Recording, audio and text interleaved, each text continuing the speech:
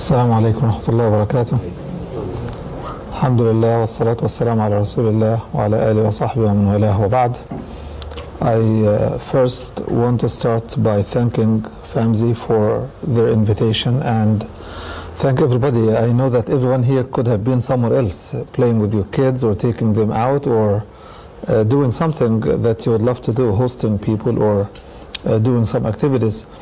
I believe that uh, our coming together today for the sake of our children to enable us to raise our children as Muslims in the West is a, a, a show of commitment, and I hope that uh, this message will go beyond this room. That our commitment to our children is uh, endless and limitless, because this is how we bring a better next generation. You look back at the way you were raised, and you see the impact of this on your current life. Uh, those of us who wake up at Fajr are the byproduct of parents who did the effort to wake them up at Fajr time. Uh, those of us who are finding it difficult to wake except for the work time, they know that because parents woke them up when it was school time only. So whatever we do with our children today is going to impact how they behave as adults. The, uh, the purpose of these presentations, uh, first uh, is the first presentation about the rights of children in Islam is to give us a context. Muslim scholars uh, and jurists have said that judging any matter depends on the perception of that matter. So the way we perceive our children influences how we deal with our children. So the purpose of the first session is to get our perceptions to be consistent with what Islam intends for us as parents. To, to be consistent means how does Islam look at children and how does Islam want parents to look at children. In that regard, it will help us uh, in getting the right context for how to understand our children. The second session will give us uh, a glimpse, a very quick glimpse of how the environment impacts our children because we are struggling with an adversary environment that has different values, different objectives of raising children to comply and conform to the social and political norms. So if we agree with what's out there, then we don't need to look at an alternative. But if we don't, then we have to establish what is the alternative for this environment. So understanding how the environment influences our kids is vital for parents. You send your kids to the school, even a Muslim school is going to impact them negatively. Not because it's bad, not because teachers are bad, but because it is the nature of the beast you send your kid somewhere, he or she is going to pick some habits that you would not agree to. So you have to set up your own limits at home. The third session will address uh, a very important issue for us. How do we understand youth as an age group? When they turn into teenagers and everybody is puzzled as if this is you know, a strange animal coming at home, uh, we have to look at teenagers as, as an age group and pinpoint what characteristics do they have, what, what makes them tick, what makes them afraid or concerned, why do they get into seclusion at times, they don't want to deal with anybody, why aren't they willing to go out with you to your neighbors or friends and stuff like this. So we need to understand youth as an age group. Then the final session will give us some uh, parental tips, about 30 tips, and I believe they are very important, how to deal with our youth in particular building on the knowledge we had in the previous three sessions. This is our program for today. If there is any question about the sequence or the topics, this is the time to ask. Yeah, I will bring the slideshow now. But any question about the, the topics or the sequence, any concern that you want us to address, you can take notes and we will try to allow time. I timed myself so that uh, I will be under the control of the plan uh, of the program. Uh, first of all, uh, we have to look at children through our own look to ourselves when we were young. When we were young, uh, many of us would remember that we were also uh, weak and needy. We needed somebody to care for us. And as much as children become nuisance and when they scream, when it, they don't, you don't know what they want, when they are just screaming for nothing or they don't want to sleep at the time you want them to sleep, they don't want to eat what you want them to eat. Uh, these are by nature the weakness of being a child. And the child comes with that weakness because it's through you, the parent, that he starts to get some strength. Strength of knowledge, strength of will. Something extremely important that we will talk about frequently today. That their will is weak. And what, what is the weakness in their will? They know what is right, as, as much as we are also weak. We know what is right, but we do what is wrong sometimes, right? Children have a period uh, and an allowance from Allah subhanahu wa ta'ala to be wrong for much longer time than we adults. So we have to look at those issues. Allah subhanahu wa ta'ala summarizes this. Allah is the one who created you from weakness, then made strength after weakness, then made weakness and aging after strength. So Allah is telling us it goes full circle. You start weak, you gain strength, and then you become an elderly parent, then you go back to weakness. You need somebody again to care for you, and so on and so forth. And as much as people quote the Quran, guiding you know kids and stuff to be kind to their parents, وَقَضَى رَبُّكَ أَلَّا تَعْبُدُوا إِلَّا إِيَّاهُ, and so on and so forth, we need to look at the hadith that talks to parents as to how to cultivate that kindness from young age with the children. And uh, this is one of the least quote, quoted hadith in that regard is the hadith of the Prophet ﷺ in which he says, "Birru آباءكم تبركم أبناؤكم." Be kind, courteous, and respectful to your parents, so that your kids will be also kind and respectful to you. Children come in packages. Everyone is a unique package. Every one of the children is a unique separate package.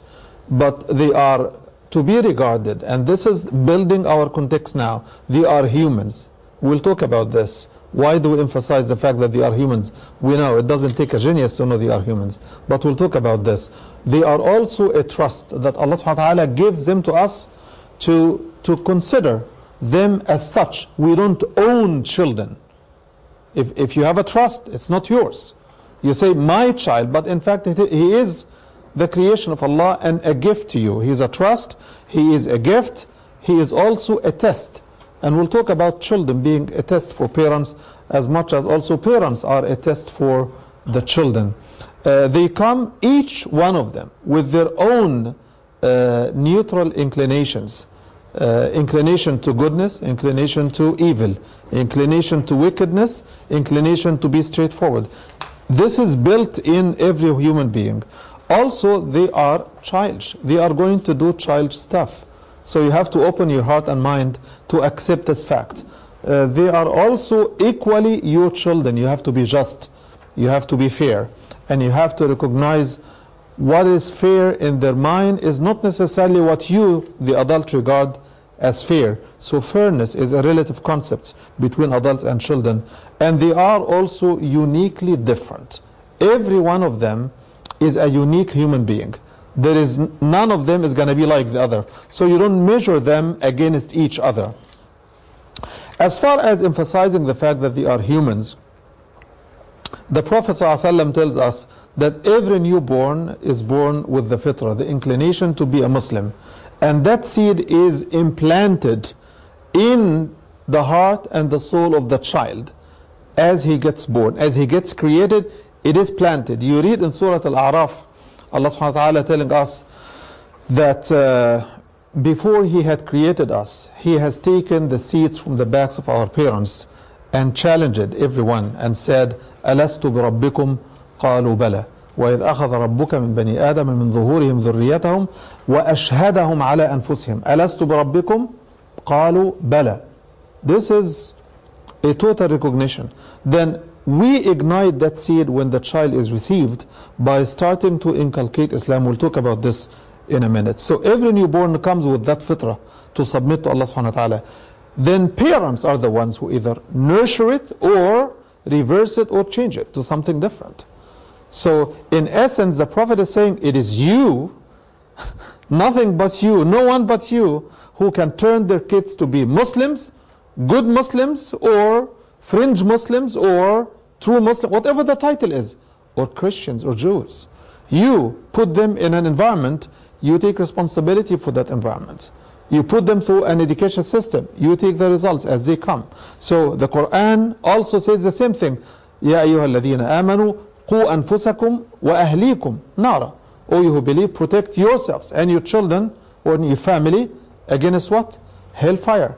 If it were not in our hands, if the key were not in our hands, Allah wouldn't have instructed us and charged us to hold the key to paradise. You're holding the key to their destiny. The Quran is saying, protect them, protect yourself, which means the key is in our hands. There is a lot of misconceptions, even with us adults, thinking that going to paradise is not guaranteed. You know, nobody knows. You know, nobody can guarantee.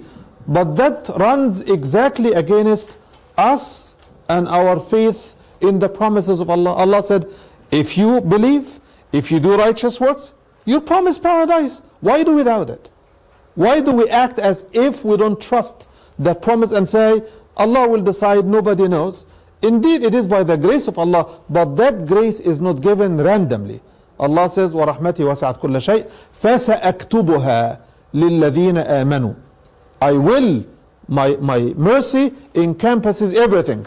But I will designate it to those who believe, do righteous deeds, and follow the unlettered Prophet. So there is a clear promise that we have to accept.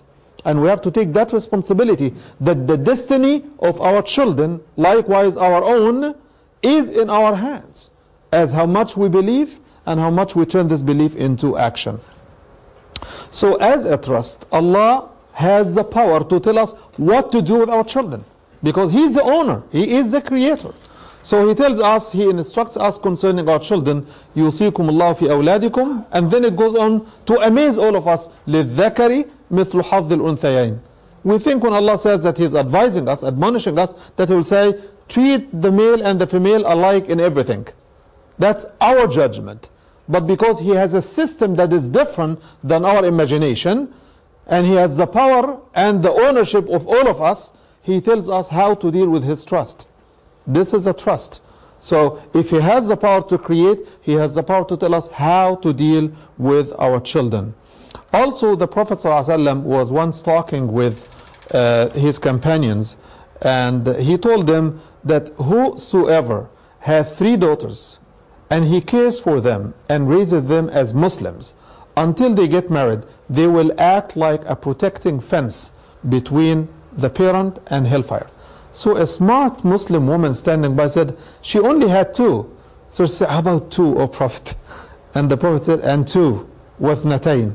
Then another one said, she only had one. She said, how about one? He said, even one. Why does he emphasize daughters? Why didn't he say if you have a child? Because daughters, the mothers, are given a very special responsibility. That is, they are more patient, more compassionate, more loving, more emotionally engaged. And that's why they are entrusted with the biggest responsibility on earth to raise men and women under their care. So mothers are to be protected, and that's why there's a lot of care given in Islam as a system to care for the daughters, to care for the mothers, and so on and so forth. And that's why, by the way, it is in Islam the only system on earth that gives the mother the right not to seek to earn their own living. You are a mother, you, you provide it for. You don't have to seek your living. You don't have to work. Why? You have to care for a child or two or more. Until they get out of the home, your full time job, the best job you can do for humanity is to give full attention, full time job. If, if any of you are mothers here, you know what the word full time job means. You know, when you get a, a new baby and uh, the night turns day and the day turns night sometimes, if you have any night, and it's more than a full time job. So Islam says mothers are always to be provided for no matter what. Even if the husband is very poor, the society should pitch in to help the mother stay home with the kids.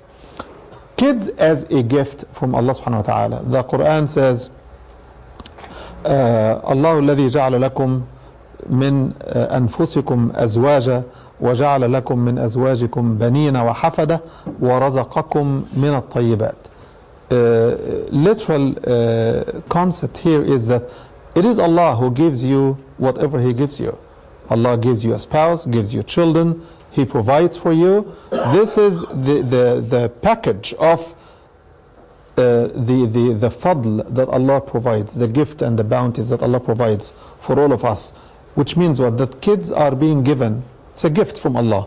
Also, you hear uh, in the next verse also, Allah subhanahu wa ta'ala telling us that يهب لمن يشاء إناثا ويهب لمن يشاء الذكور أو يزوجهم ذكرانا وإناثا ويجعل من يشاء عقيما. It is Allah's decision. All of it.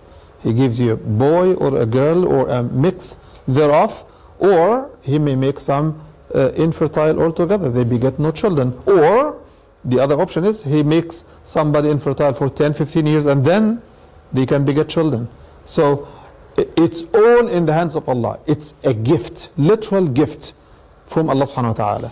So when you look at your child as a human being, uh, you will not handle him as, as, as you handle a seat. When you know that your child is not owned by you, you know that it's a trust, you keep, you protect, you nurture, you develop. When you know that your child is a gift from whom? From Allah, you embrace that child, you give him compassion, love, and care much more than anything else. And instead of looking at children as, you know, uh, undesirable evil or kids are nuisance and they are always this, I have no patience, I have no spirit, this is too much for me because my husband doesn't help, he's not.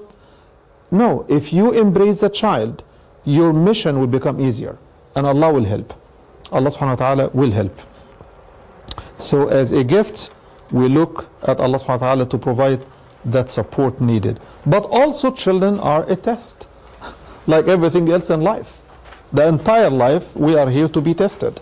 We always like to quote that we are here to worship Allah, but Allah also reminded us in Surah Tabarak that we are also here to be tested. You know, الذي خلق الموت والحياة ليبلوكم to test you. And what, what is the way to test? The Quran mentions several ways. You can be tested by being wealthy or poor sick or healthy, or a neighbor to a healthy person or a sick person when you have the opposite situation. You can be tested by this also. You can be tested by having children or not having children, by having only boys or only girls, or a mix thereof, or one or two, or five or ten. You are going to be tested one way or the other. Uh, your wealth and children are but a test it's a matter of looking at this, which means what? You have to be cautious. You know, you have to be cautious that uh, you don't take your kids for granted. I'm raising them, they are my kids. Uh, you have to be cautious.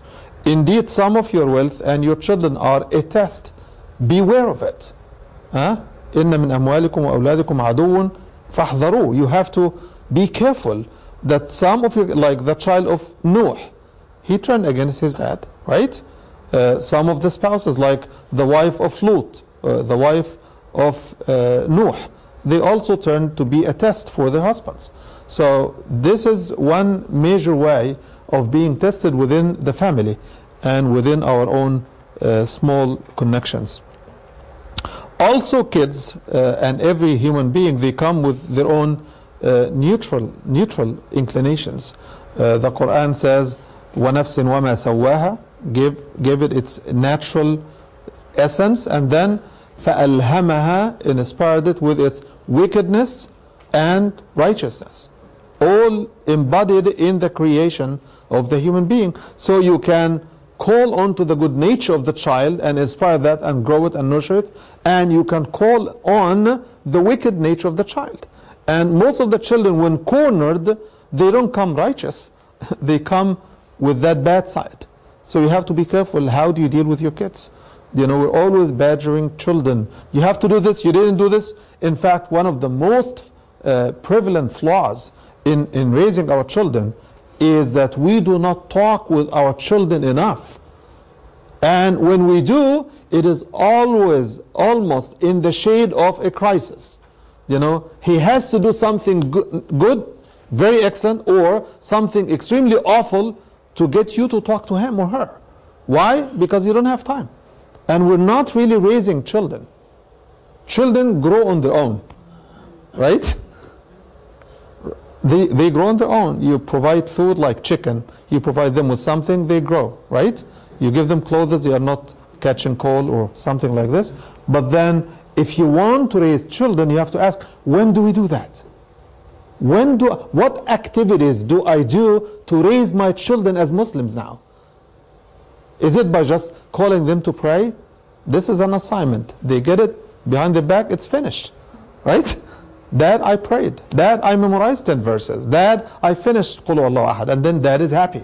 But is this what raising a child is about? This is something that we'll have to talk about a lot here today. So, uh, this verse also tells us that it is the parents who take responsibility of nurturing the good nature in the child. قَدْ أَفْلَحَ مَنْ زَكَّاهَا How do I purify? Tazkiyah. what is tazkiyah? How do you uh, do the tazkiyah process with the child? The child is, I can, I can show you something. If you get a new piece of white cloth that you buy, and then you wear it, let us say it is the prayer cloth or the jilbab that you wear, right? Then you use it one, two, three, four times, and then you look at it, it's not as white as it was. What, what happens? It picks stuff from the environment. How do you clean it? Right? You just don't dust it, right? Put it through the washing machine, the dryer, you put cleanser, right? So we have to know, as much as we spend time cleansing their clothes, their soul has to be cleansed. Their hearts have to be cleansed. As much as we feed the body, we have to also feed the mind and feed the soul. These are the essence of what a human being is. You know, what makes us humans really is the soul. Uh, because the body comes from earth and it goes to earth, it vanishes. But what stays to be the, the central element of us being human is what? It is the soul. And the soul comes from where? From Allah subhanahu wa ta'ala. So we have to nurture the soul. And we can talk about this also as we move forward. So we have to focus on nurturing, purifying, inculcating values at young age with our children. By the way, you don't need to write anything on the screen. You have the handout. If you don't, can give you electronic copy of the whole thing. But you can write your own notes of whatever you hear. Also, children are bound to be childish. So you have to be open-minded enough to recognize and distinguish and sort their behavior. What is typically acceptable from a child, and you overlook this. And what is unacceptable, then you pay attention to it and fix it. But giving everything one and the same attention, one and the same direction, confuses you as a parent, but much worse, it confuses a child. Because he wouldn't know what is serious for you. What is your priority then? You know, kids are, for example, laughing and playing together. It's childish, but they will do it. They will kick each other, they will push each other, they will snatch things from each other. That's childish, right? But is it acceptable? As a habit. No, it is not. So you address it in that context. It is, yes, child, but it is unacceptable to say as a habit in the long run. So you address it in that context, right? But when it turns, for example, that you see one of your children, you know, holding a match and trying to fire something, that is not really child play. This is something serious. And he has to know that this is much more serious than picking the toy from his brother or snatching it from his hands. These are two different things. Okay? So you have to be able to distinguish what is child and what is not. We know the story of the Prophet ﷺ when he was praying and one of his grandchildren, you know, climbed his back and he stayed in prostration for a long time. So they asked him, why did you take long to come up from prostration? And he said, what? That's what he said. He said, one of my grandkids climbed my back and I didn't want to dislodge him before he's finished. Come on. If the back of the Prophet is good for his grandchildren, why aren't our backs good for our own children? Why aren't we patient? You see a child coming and he disturbs you a little bit in the prayer. Why do you push him hard? Why don't you embrace him and grab him by the hand, let him or her stand next to you? Why don't we exercise some patience with our children? It's because our perception of children is that we have boundaries and they have boundaries.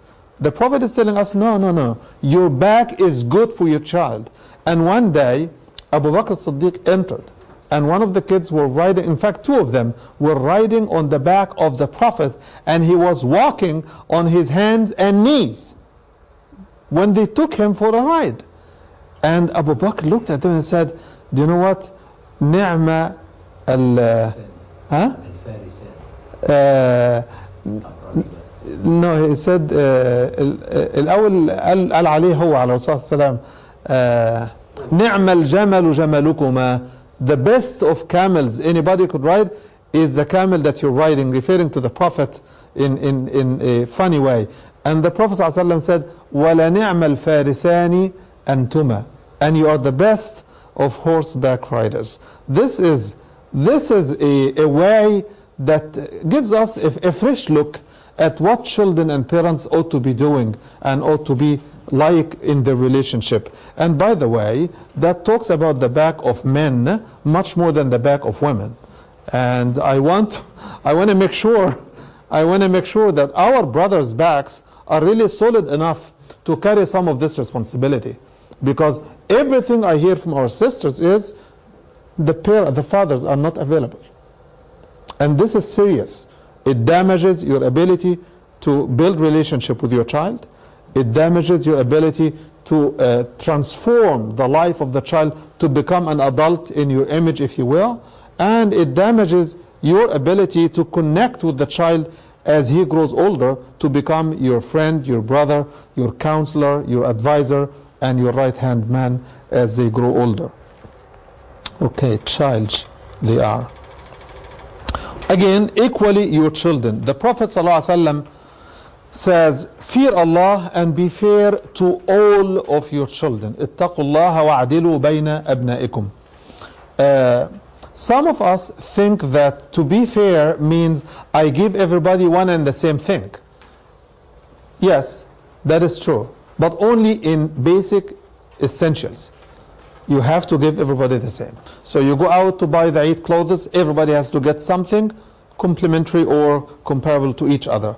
But when someone excels in the school or memorizes a chapter in the Quran and the other does not, you don't give everybody the same thing.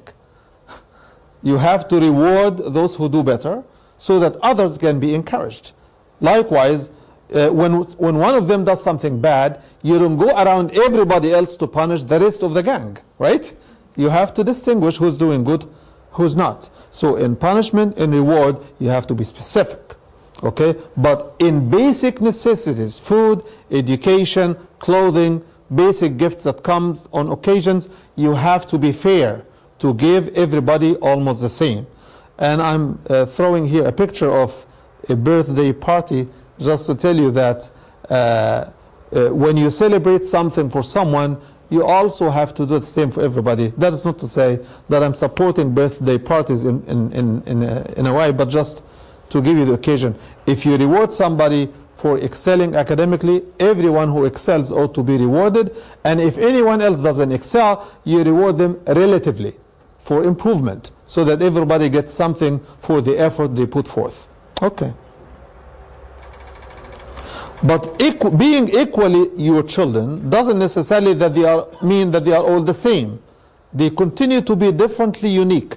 Every one of them comes with their own emotions, temperaments, and what they like, what they don't, what works, what doesn't. Uh, some of them work with temptation, some work with pressure, some work by organization and scheduling, some work by reward and punishment, uh, some work by conditioning. So you have to figure out a way what works with every, every child that you have. Boys are different than girls, uh, younger are different than old, and so on and so forth. Uh, you know how Prophet uh, Yaqub uh, was talking to his son Yusuf, telling him, Don't you tell your brothers about your dream, lest envy kicks in and the shaitan turns them against you, uh, and they will plot and plan things against you. That is a, a, a good recognition of a parent who knows that some of the children are not as decent as they should be. So he takes one on the side and says, Be careful, they are your brothers. But be careful, don't tell them everything that you have. So one has to recognize if one of the children, for example, got caught, he went to high school or college and he got caught in a gang, right? You have to protect the rest of the children. Okay? You have to protect the rest. You don't say, but he is their brother or she is their sister. You have to protect the ones that are not yet influenced negatively by whatever is out there in the society. Also, Nuh, a story that many Muslims abuse, in fact, by, by quoting the story, many say, if Nuh couldn't get his son to be guided, how good am I more than a prophet? But listen to the story of Nuh, you will find something very amazing. We know that Nuh went making da'wah with his people for how many years? 950. 950, almost a thousand year. So if his son was the, the youngest baby, I would imagine that by the time they were riding the ark, that guy was about 700 years old, right? So, so if, if this baby has been given the advice for 700 years, Noah never gave up on him. And this is a lesson that we have to learn. Noah never gave up on his son until the last minute. And he was telling him, Ride with us, come. And he resisted. Noah never cursed him. He never told him, Get out of my life. Until Allah told him, He is not of your family. إنه ليس من أهلك. Meaning the family of the believers. He is not of your family. But Allah never told him this from the beginning. Realize this. He didn't tell him, Do you know what, Nuh? He's never going to believe. So let him now. Leave him and focus on something different. So we should never give up on a child so long we are breathing, so long as he or she is breathing. We keep inviting them, we keep calling them our children, we keep caring for them. Okay, now, what are then the rights of children on their parents? This is the topic, right? The first thing is to have fit parents. What is a fit parent Islamically? How is a fit parent defined? If you're given a choice between something good and something half good, what, what is the choice? If they are all the same price, you pick what is good, right? You pick what's excellent. So if you have a choice between a Muslim wife and a Christian wife, where do you go? The Prophet says, if you have two Muslim wives, pick the one that's best in religion. So it goes without saying that you have a choice between a Muslim and a Muslim, the choice is clear. So the parent, the, the, the most fit parent is one who's Muslim, caring, selfless, because there's a lot of sacrifice that you have to put forth. There's a lot of care required of parents to, to offer to children. Uh, there is a lot of tolerance required of parents. There is a lot of education that parents have to be able to learn and willing to learn, to sit down, read books, watch videos, listen to audio tapes, uh, uh, visit places, attend workshops, and share information with others and listen to others. Uh, to, to be balanced, to be disciplined. You're the one who's going to establish discipline in the life of your children. So if you tell them you have to wake up at Fajr and you don't, then what happens? You tell them, read the Quran, memorize the Quran. Oh, daddy, how much of the Quran do you memorize?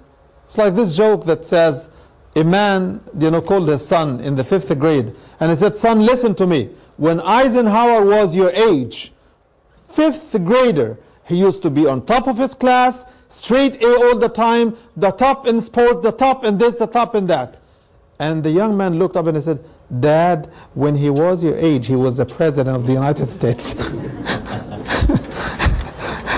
so, so kids also have their own parallels. They have their own measures. So don't be uh, so confident of yourself when you keep pushing them when you're not pushing yourself. They want to see you providing the model. I am pushing myself to do this. I am pushing everybody, not only you, but I'm pushing myself starting with this. So discipline, consistency, love, mercy, patience, justice, cooperation, organization, commitment, sociability. All of these are, I'm, I'm listing a lot of things. Maybe everybody will say, oh, come on, there is nobody who has all of this. Yes. Yes, there is nobody who has everything. But this is the model that we've seen, and I picked those from the life of the Prophet. ﷺ. So there is an example you strive to reach, no matter how far it may look. One day you will get there. You know, ask yourself every time compassion is needed. Am I exercising enough compassion? Patience is needed. Am I patient enough? Cooperation between you and your spouse. You ask, how much cooperation do I provide? Because without measuring, without having a target, you will never reach anywhere. So this is a good uh, target to, to look forward for. Then the Prophet ﷺ gives us also the guidance to be picky. You know, when you pick a spouse, I know that most of you, if not all of you, are married, but those who are not yet, you want to pick a spouse, look to the Prophet ﷺ and ask him, what kind of wife, what kind of husband should I look for? And he gives you guidance. He says to the parents, uh, look for a spouse that is fit for your daughter because فَإِنَّ الْعِرْقَ دَسَّاسِ Choose for your offsprings because parents' habits turn into their children. And you are not picking only a wife, you're also picking with her uncles, granddads, nephews, nieces for your children. So you're not just picking a companion, a friend, or somebody. If it doesn't work, then we'll do this now. You're also picking a family for your children. Choose for your offspring. Also, uh, talking about the wives, the Prophet ﷺ uh, uh, guides and says, if you get a person with whom you are pleased with their religiosity, the religion, and their manners. Most of us are focused on religion. If somebody has a beard and a jilbab, then this is a good man. But the Prophet is saying religion and manners. Because some people are very good with Allah. How, what could they do to, to, to harm Allah subhanahu wa ta'ala? Nothing. So they end up harming people. They end up with rough manners with humans, but very kind, very nice with Allah. How could they be otherwise anyway? So they read the Quran, they pray at the mosque, they do this, they attend lectures, but when it comes to manners with their wives and their children, they are even sometimes not even available. And uh, something telling about this is the Prophet is not saying pick somebody who is very religious or pick somebody who is not religious. The Prophet is saying you ought to be satisfied with their religion. Why? This is very wise. Why? Because not all of us are of the same level of commitment and understanding. So pick someone that is really parallel to your life, little bit better than you, so that you can improve and try to jump to, to join him or her. But pick somebody close.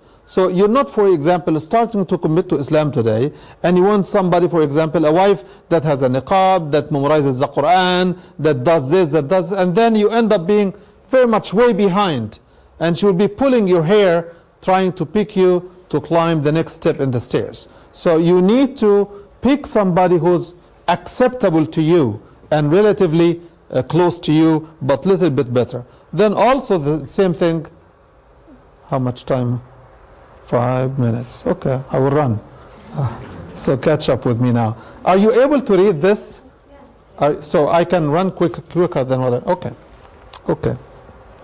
So also a woman is not to be married for her beauty or her wealth. Likewise, a man ought not to be married for his wealth or looks or anything else, but for religion. Also, don't marry women for their beauty. Uh, their beauty may lead them to indulgence. Don't marry them for their money. Their money may turn them into tyrants. Likewise, a man can also be turned into a tyrant and controlling uh, freak if, if he has wealth and control, power, and uh, all of this. Marry them instead, the Prophet says, for their religion. Indeed, a black, deaf, but religious woman is better. Come on, why is he mentioning black? Why is the Prophet mentioning black? Is this no, because he's addressing a society that calls the black people slaves and servants. Until today, many of the Arab countries would call a black person abd, which means servant, when the man or the woman is not a servant. Okay? But this is inheritance. So the Prophet is turning the society around saying, you know what? Those guys that you call abd, they are Abdullah. And when they are Abdullah, they are better than other ones and than you. So the Prophet is turning things around, trying to correct the concepts. Also, uh, in fit parenting, the best of pleasure in this life, the Prophet ﷺ says, is what? A righteous wife. Likewise, a righteous husband. because this is a person that you spend the rest of your life with. So if, if, if the person is righteous, he or she will always incorporate Quran and the Sunnah as reference for their behavior and their conduct. Uh, marriage is described in the hadith as what? Captivity. You know? And by the way, for those of you who know Arabic a little bit, the word in Arabic is usra. It comes from the root word asara. And uh, to, to, to, uh, to be a captive of somebody can be very negative and very positive. Can be very negative when you are POW, right? Prisoner of war. You're captured in the battlefield, okay? Enemy combatant. then, uh, but if you are captured by somebody's generosity, courtesy, support, and care, then this is a very positive uh, captivity. And the essence of the word usra is that the assumption here is that people are attracted to each other by the goodness that they share with each other. This is what the family is supposed to be, to be attractive. So you are captive, but not against your will, but we turn it into a negative captivity when everybody hates everybody and when everybody says, I'm only here for the kids. Were it not for the kids, I would have left. That becomes negative captivity and not the intended positive usra, as it's called in Islamic uh, literature. Uh, the second right after fit parents is a good environment. What constitutes a good environment? Peaceful home, decent and moral neighborhood, decent school, access to mosque and good Muslims to make friends and pick good habits, and family values and the educational system, library at home with books, audio and video, CDs and everything. These are resources that are vital for the kids because if, if those are not there, they are picking from everybody else but you. Then you have minimum or no TV. If you want to raise Muslim kids, you don't want somebody else telling them how to think, how to feel, how to laugh, and when to cry. You want them to be your children, not the children of the TV. And the more they spend of time with the TV, the more they become the TV children, much more than your own. So you have to see what it is that you want them to be exposed to on the TV. Uh, because sometimes we let the kids watch because it's a children program. They are making a contest. It's fun. They are laughing. They are gaining information. But you don't know what the content says. And you have to be aware that behind every message there is also a hidden message. Okay. Minimum or no TV, uh, extended family, or else community support. In our situation here, many of us do not have their extended families. So we have to be the families of each other. Those of us who embrace Islam leave behind all of their extended family. They may be living as neighbors, but they can't have their kids, you know, mingle with the rest of the extended family. They have to have the rest of the community as their own uh, substitute extended families. Otherwise, their kids get lost, and we have to pay attention to this. Then, after birth, the right to have the adhan and the iqama. What, what does the adhan do? What does the iqama do? Do children come up from the cradle to, to pray? Because the adhan is intended to call people to pray, right? What does it do in this case? Let me take you back to the Surah Al-A'raf, the verse that we recited in the beginning. The adhan here comes to spark and inspire the seed of faith that was implanted in the child before even his parents' creation. Allah said that He implanted that seed, right? The adhan ignites that seed. And in many cases, I have seen children, once you make the adhan, their whole mood changes. If you have this experience, uh, you can tell about the same thing. Uh, why do you make the adhan in the right ear and the iqam in the left ear? This is something I could not figure out. Uh, but I know that uh, uh, the word Allah uh, has power of its own. And it works into the soul and the spirit in a mysterious way nobody can explain. And that's why the child, despite the fact he is not called to pray at the time, but the call of prayer reminds him of who is central in his life. From the beginning of his creation, he receives the word Allah and with it Allahu Akbar, which means he is coming to the care of Allah subhanahu wa ta'ala. Love and nurturing, very important that you exercise love and let your children know that you love them, not by the words. Words are important, but also by the positive relationship you have. Good name and a nickname. The Prophet ﷺ used to give nicknames to kids and used to change names of even adults who, whose parents gave them bad names at young age. We have in Egypt people calling their kids what? El Jahshul. Very bad names. And I'm sure that uh, bad names are uh, in abundance everywhere, but just uh, I remember this one. So if, if, if your child doesn't get a good, what is a good name? What's the difference between a good name and a bad name? A good name is a name that reflects positive identity. Okay, positive expectations. Like you name your child after a companion or after a name of a prophet that gives them a sense of identity, a sense of belonging. You name them a, a non-Muslim name, like you know an English British name or things of this sort. You also are giving them loyalty and allegiance to the Smith family, to this family, instead of a Muslim identity. So names do have meanings uh, in, in, in most cases, and they reflect identity as well. The aqiqah is very important. Uh, uh, it's a sunnah uh, from the teachings of the Prophet ﷺ, and he didn't like the name. The word aqiqah came from the Abrahamic tradition, where the Arabs uh, not only would slaughter a sheep or something uh, when the child is born, uh, but they will invite people to celebrate. It serves in several ways. One is the recognition of the community as to whose child is this. So it, it links lineage, it makes known in the community, this family has a daughter, this family got a son, so everybody knows. So it helps establish genealogy and connection and the honor of the child and the family connection. It also helps in a different way.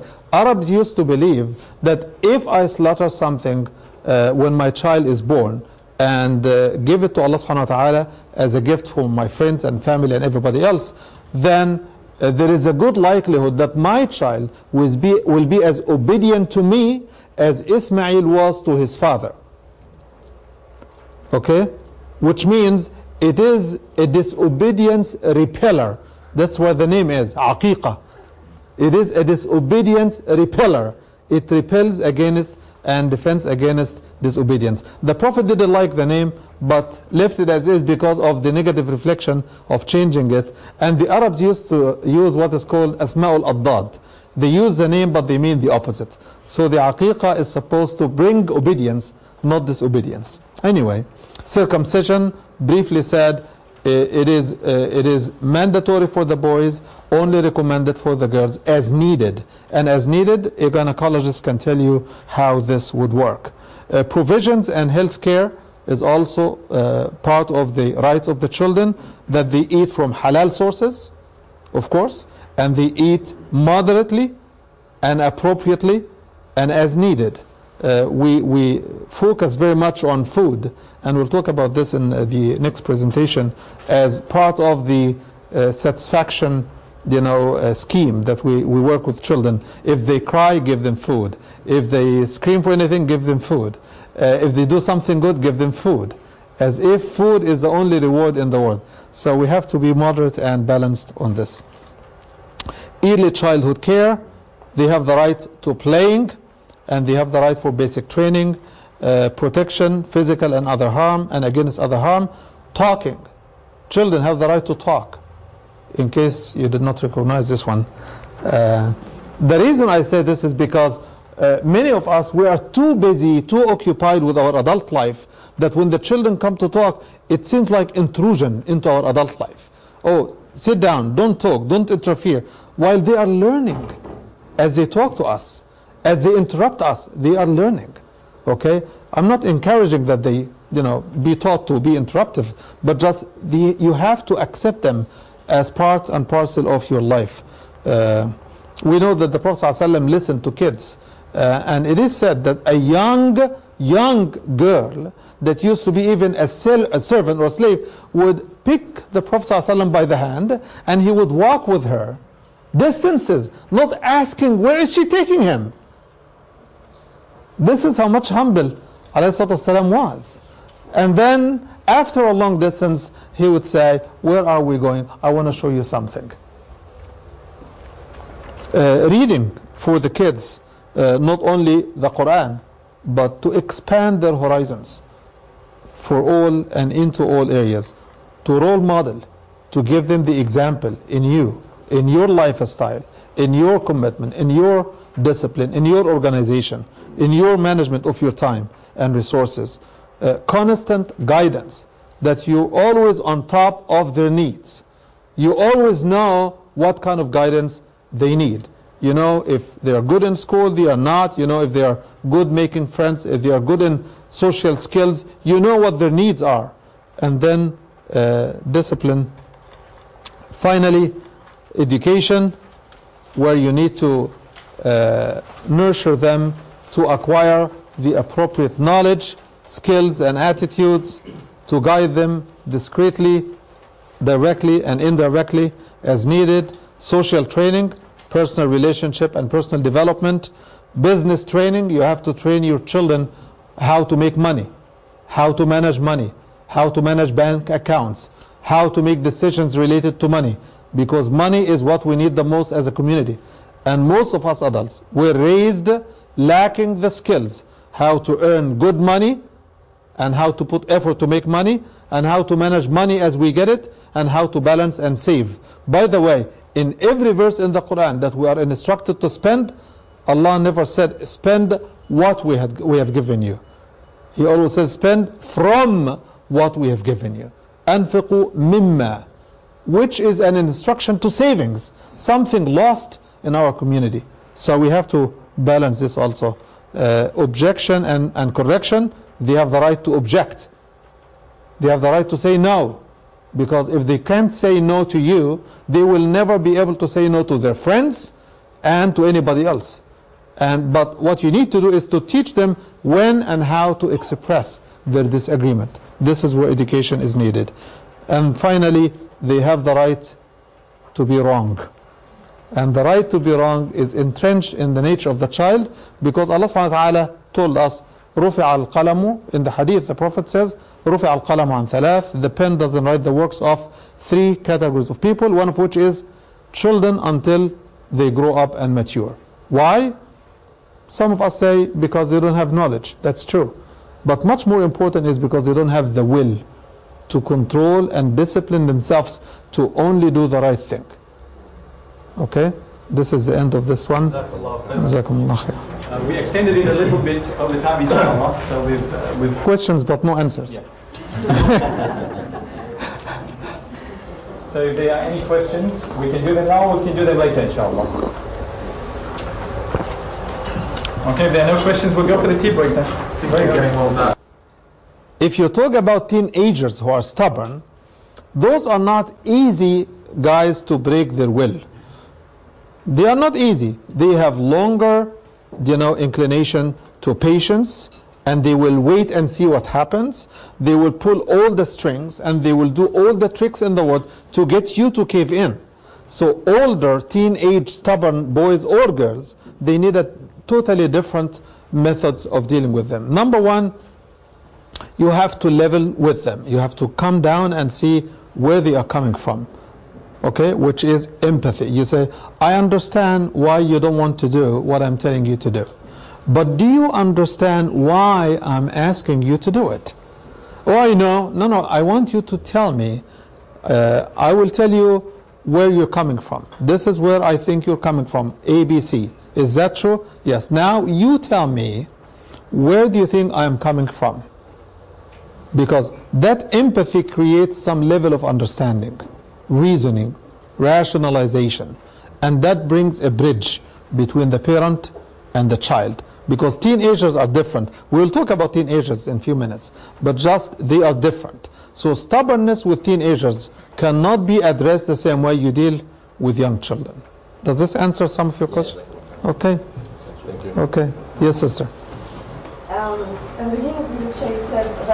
they have right of waking them up from Fajr, okay? Yes. What age are we talking about? Like seven is the time they have to start praying, okay? Okay? But waking up for Fajr is hard for little kids. So we have to start from 7 or we talking about later on age? I want to take your last part first. Waking up for Fajr is difficult. Is it really difficult? Let me ask you this. If your child goes to school that is one hour away and the school starts at 7.30, right? And the bus comes at 6.30 to pick the child.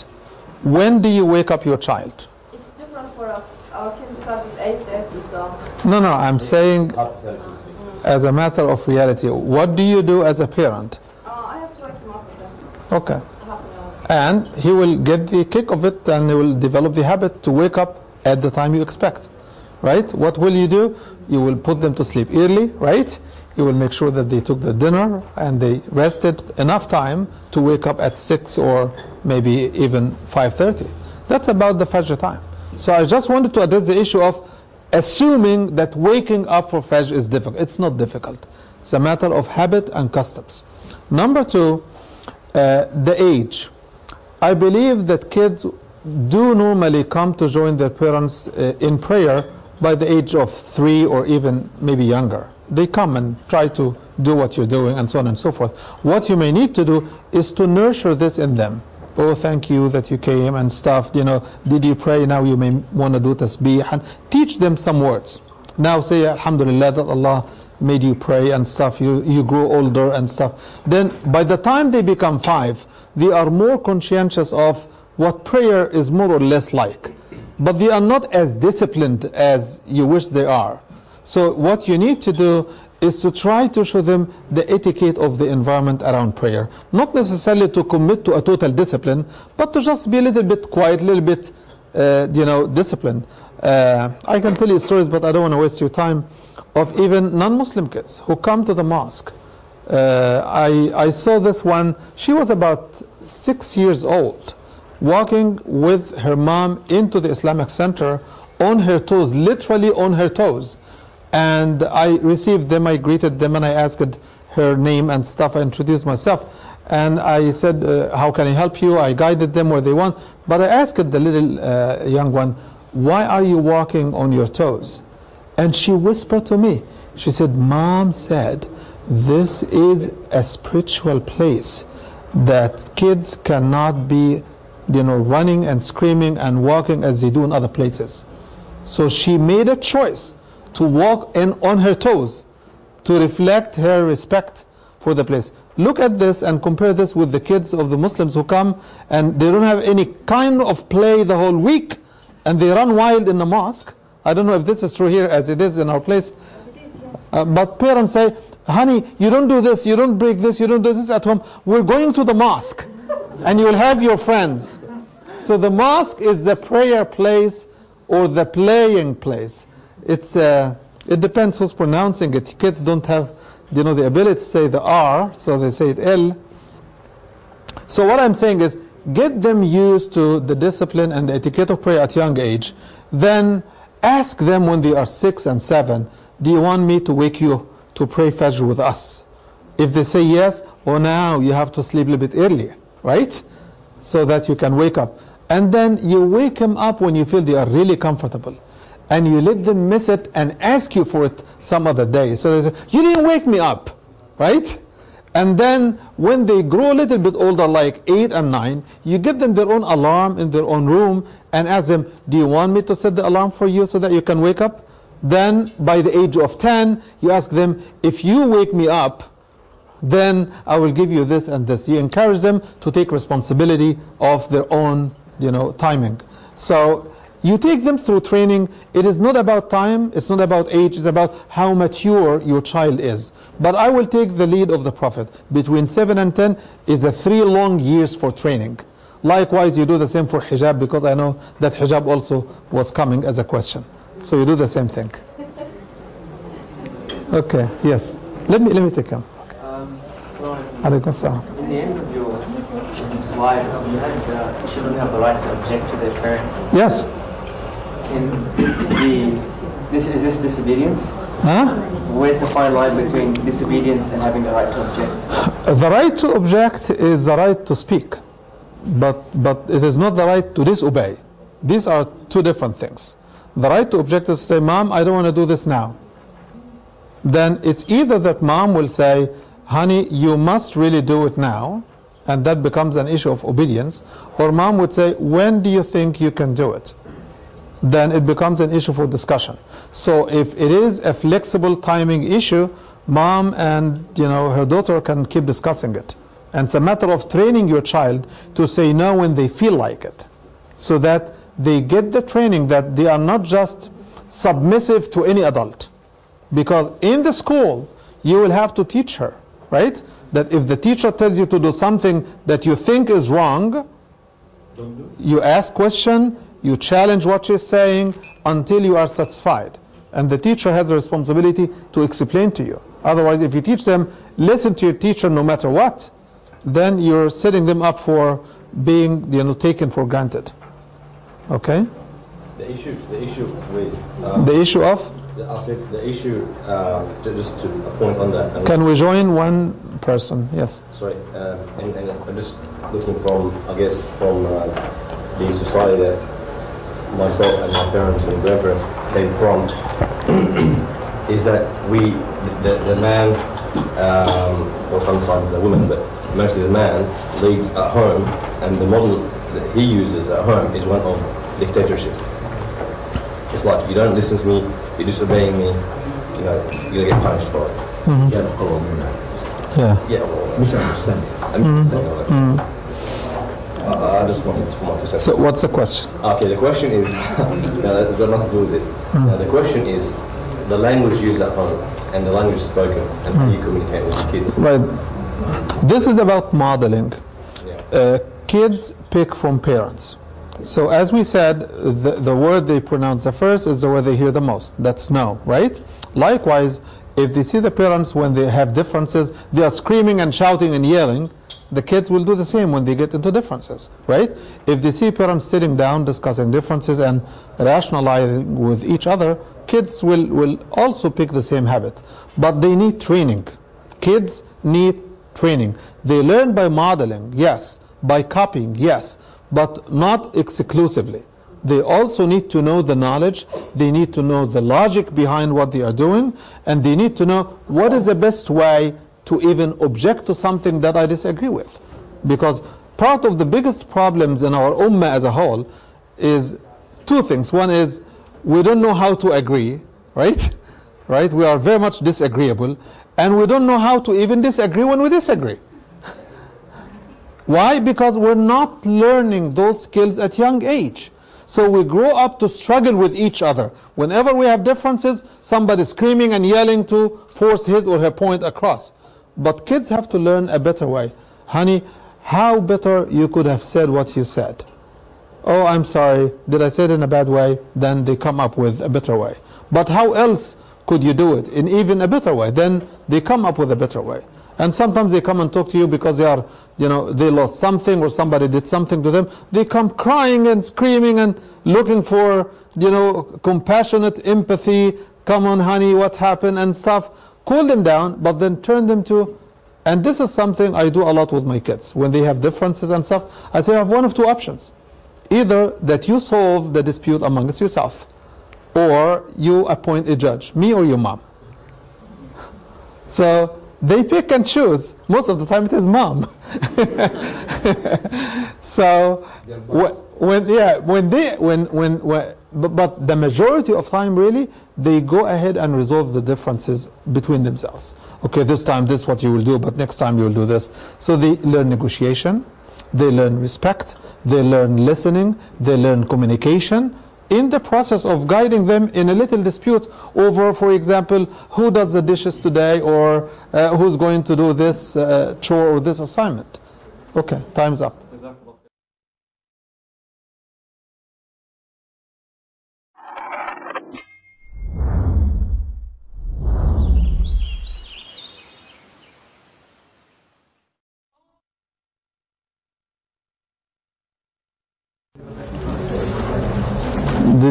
See this? Do you also say that the picture speaks more than a thousand words? Yep. Okay, what does this picture say? Thousand words. Where are you trying to tell me to go? What direction am I going to go? Yeah, let's see if this.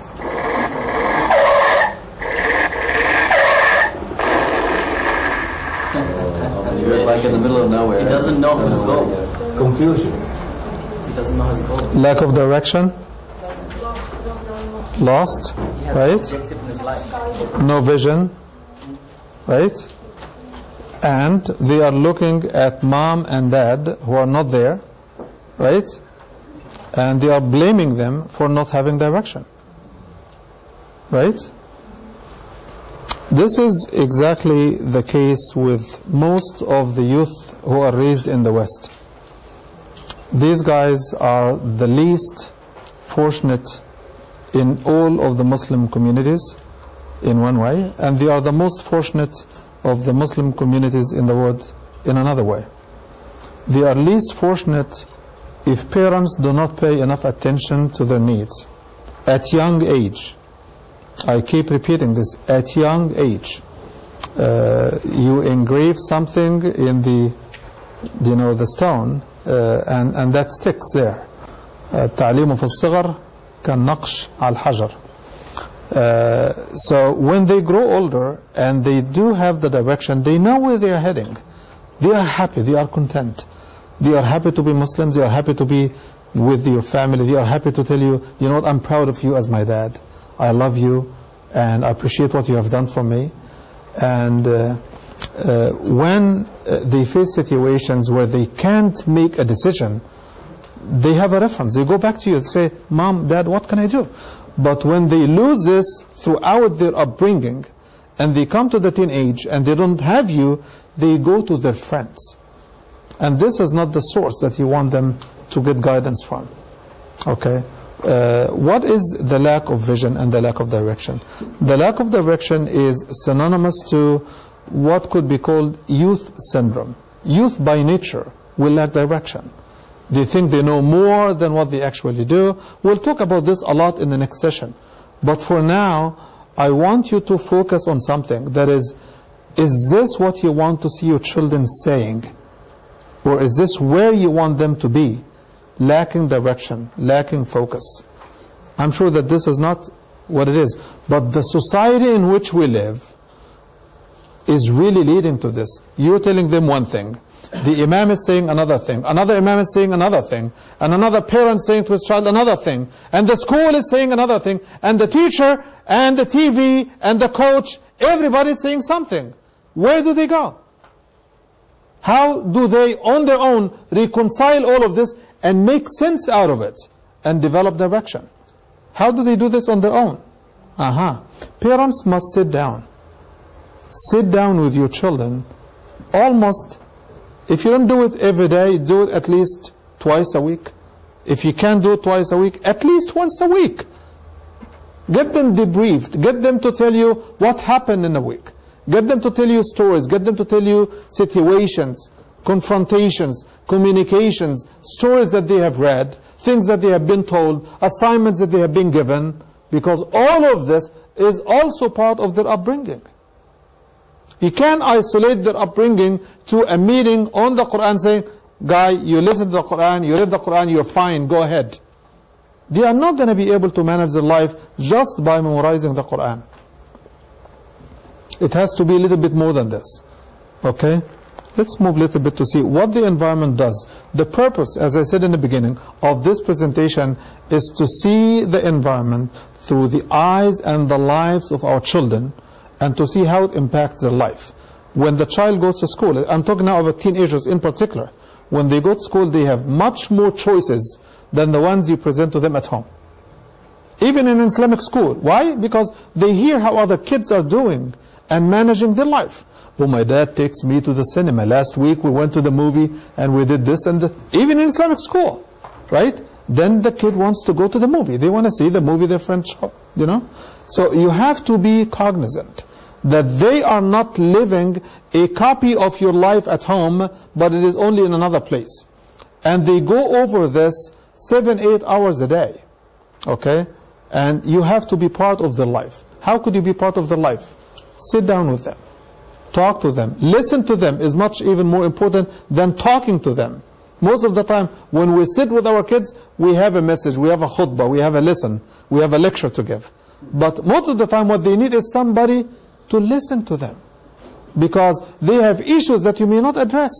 So the more that you develop the relationship between you and your child, especially at the teenage, the better off you are as a parent. The better off he has a chance to be guided. And the better off that he is off to, to make friends and make choices and make decisions for his or her life. Let's take the next picture and see what happens here. I don't know where the animation went. This is supposed to be. Uh, I'm sorry. Because the animation has something that I wanted you to be exposed to.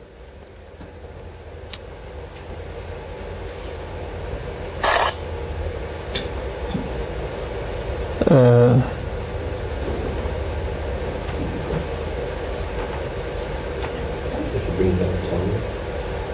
Let me see.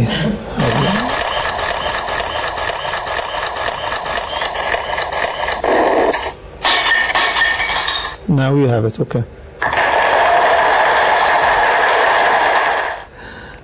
The intention here is not the game. The intention here is to really draw your attention to something I believe quite important.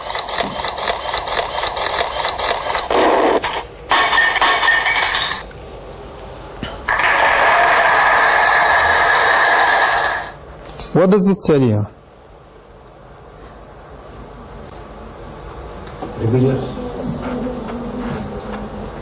What does the picture speak about anyway? The brick wall Hmm? The brick wall. is a society that Okay. keeps you from being uh, what you need to be. Okay. It's a brick wall between you and your identity, you and your religion, and it calls for conformity to be applauded.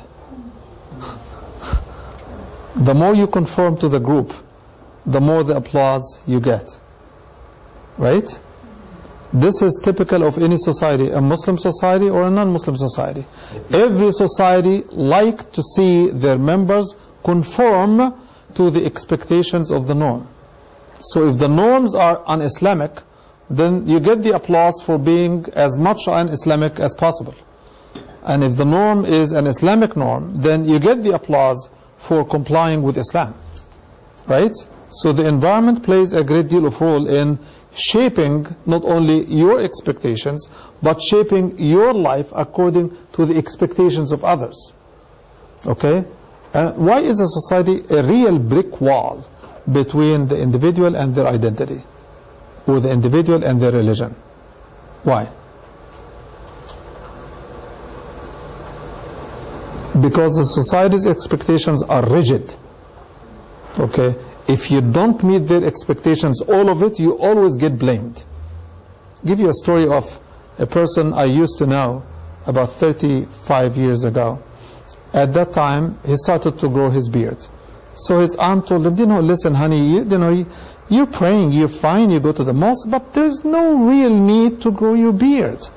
It makes you awful and, you know, old and you don't need to do this. Plus, you know, people who are growing their beard are not necessarily real angels, you know.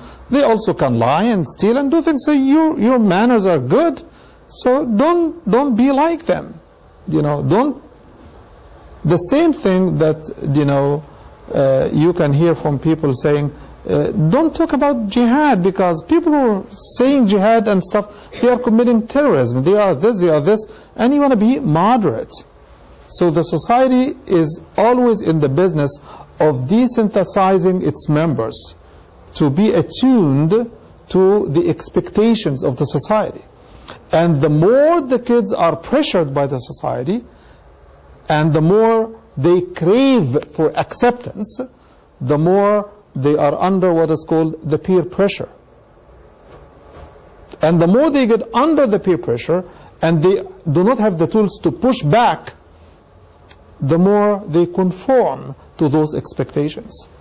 It is on us parents to sort things out for them. Honey, not everything that you hear out there is good. Not everything that you're invited to is something that you should accept.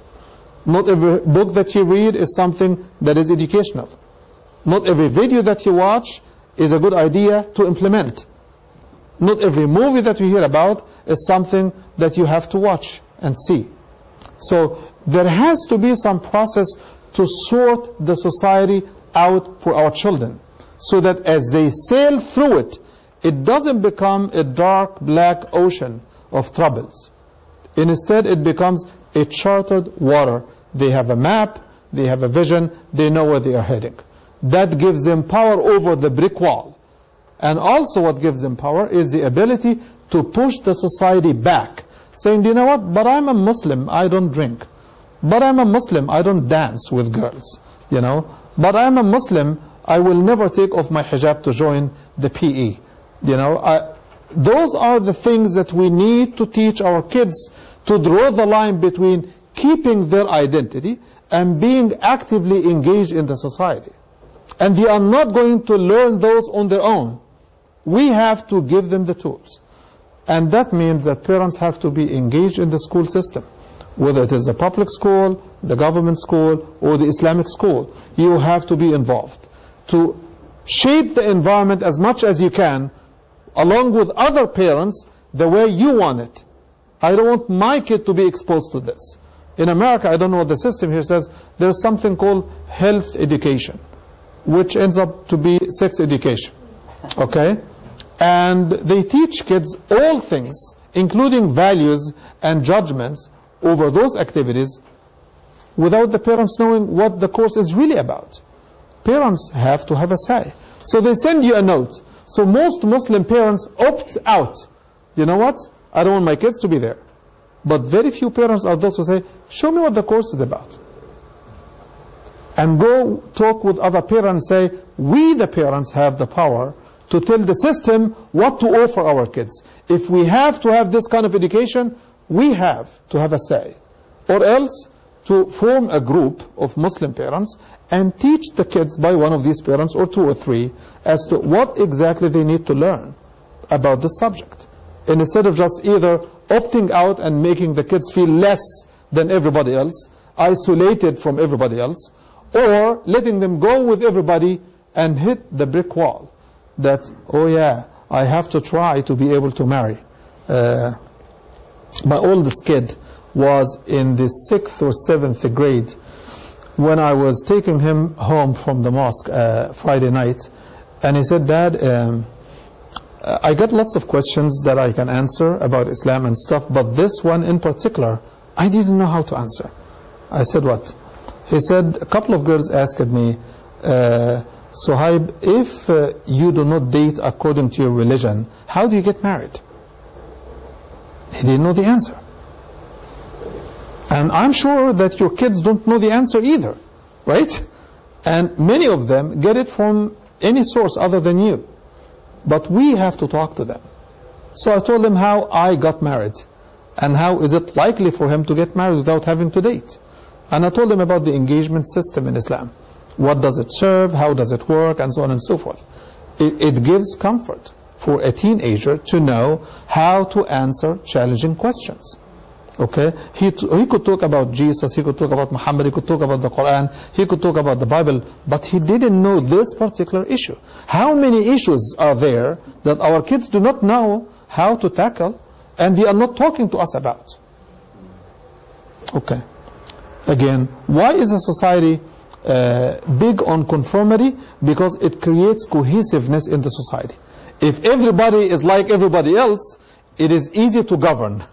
It's easy to manage. It's like us parents, we want all of our children to be one and the same. They are never going to be the same. Also, we have to teach the societies in which we live that diversity is a source of strength. You know, conformity is a source of weakness. That everybody is trying to please everybody by making it look like I am like everybody. This is not, uh, this is artificial. And we have to resent it. And we have to bring our values to strengthen our society. We have to bring our beliefs to correct and strengthen the society where they are wrong. Okay let's move. Oh this one also. I'm not going to do this for everyone.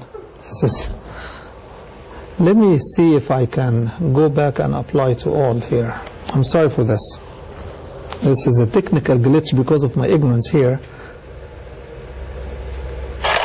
Uh,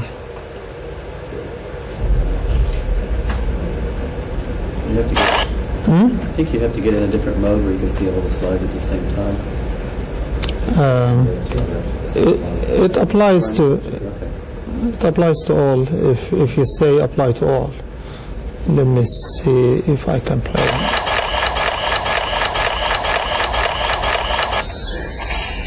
Yeah.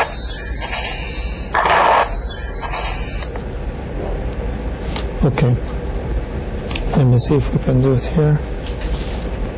Now it should apply to all, right?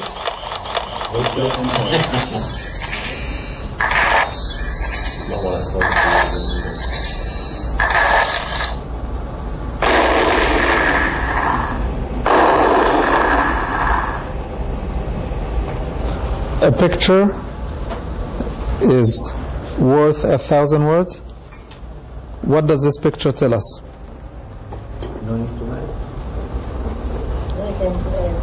Sex, drugs, and alcohol. Yeah, everything is halal. Right? And marriage has obstacles. Marriage is not easy. Marriage is not easy. Uh, what I call here is, in the West in particular, and this unfortunately is spreading even in Muslim lands, uh, the, the, the most prevalent attitude on the side is that it is sin friendly. It is something of the past that you can walk in the street and some elderly person can tell you, this is wrong, honey, you don't do this. Now everybody is minding their own business. Now you can see kids doing everything in the street and nobody cares. Uh, likewise in the school. It, does, it doesn't matter what they think or what they believe or what they say. What matters, did you do your homework? You're fine. That's all what I care about as a teacher. So there is no source of values, there is no sense of direction, there is no sense of morality or value judgment. Okay? The only value judgment that the kids get is, oh, you don't really dance, don't you? Huh? How do you have weddings, you know, when you celebrate? What do you do? So the kid feels that they are really strange, you know. I don't know. I don't know. So, uh, oh, you've not dated anybody yet? You're 17, you're going to college? Honey, you better wake up and smell the coffee, you know? How are you going to pick a husband, you know? You're going to get somebody from heaven or what? Is your family going to arrange it for you? Right? And the kids really think about it. How- How is it going to happen? Okay, you're 17, you never dated anybody, you don't know guys, right? So, if you don't drink, if you don't dance, if you don't date, then you're lost. And, and those things are not strange. Don't think about those issues from your own perspective as an adult who's most probably grown overseas or with your own value system. But think about it from the perspective of the current environment in which your children are living. So don't think of those issues as, you know, kind of like, oh, it's irrelevant, not my kids.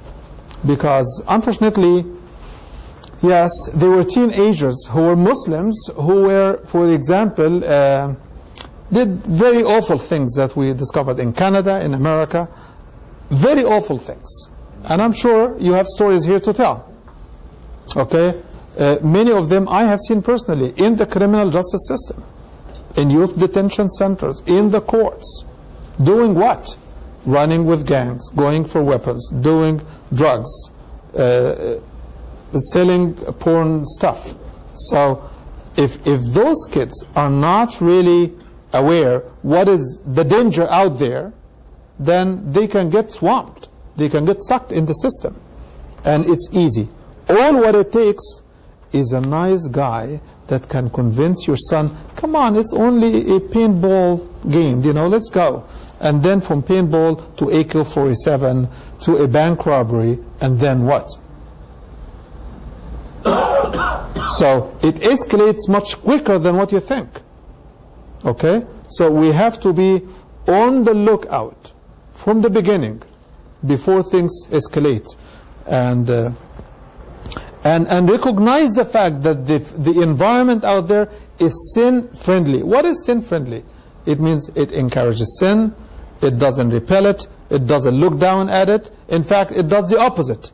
If you're too righteous, I'm afraid you become fanatic, right? You become an extremism. You can become a, turn into a terrorist. And the kids, you know, they clinch. They don't want to be labeled in a negative way. So,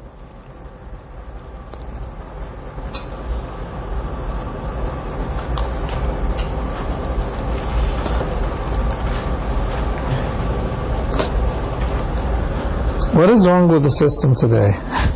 It froze.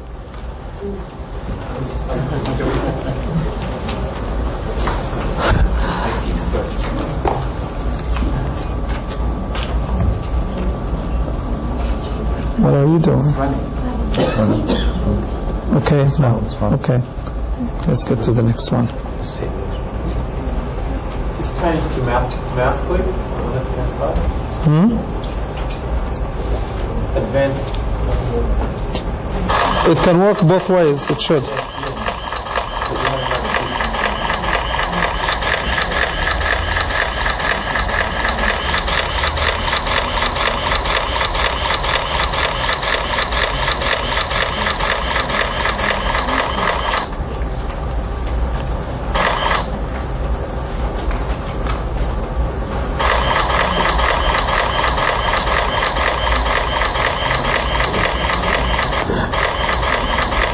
It's okay. This is the way it goes anyway. The society also is not short on ideas. You go to any college campus and you will find like 10,000 clubs from the bald-headed to the long hair to the ponytail club. Everything has a club, right? So the society offers much more opportunities than you care for your son. Come on than you care for your son to be exposed to. And with this, they offer them lots of options, lots of activities. So you need to discover from your kid what kind of clubs are there in his or her school. Okay? What activities do they like? What things do you want do they want to join? Why do they want to join it?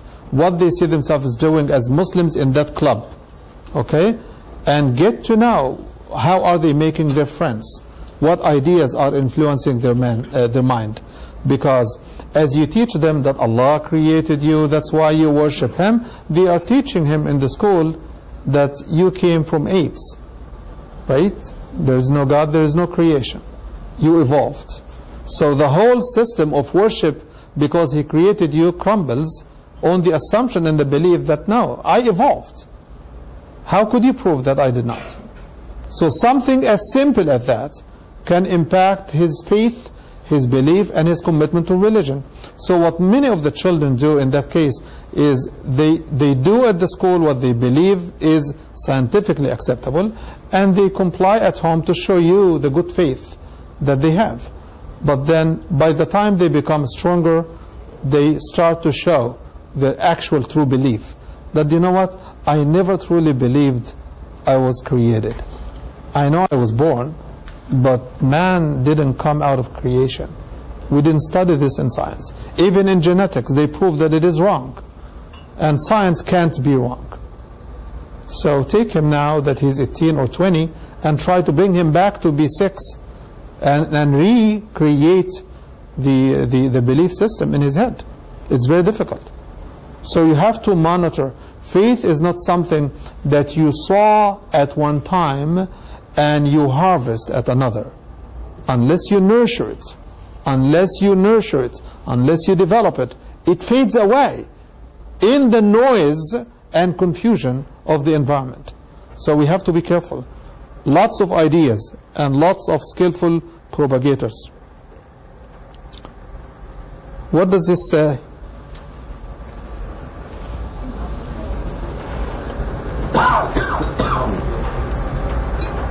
They go to school at what age? Five, six? Right? And then by the time they are 10, they got used to so many things that you've not taught them at home.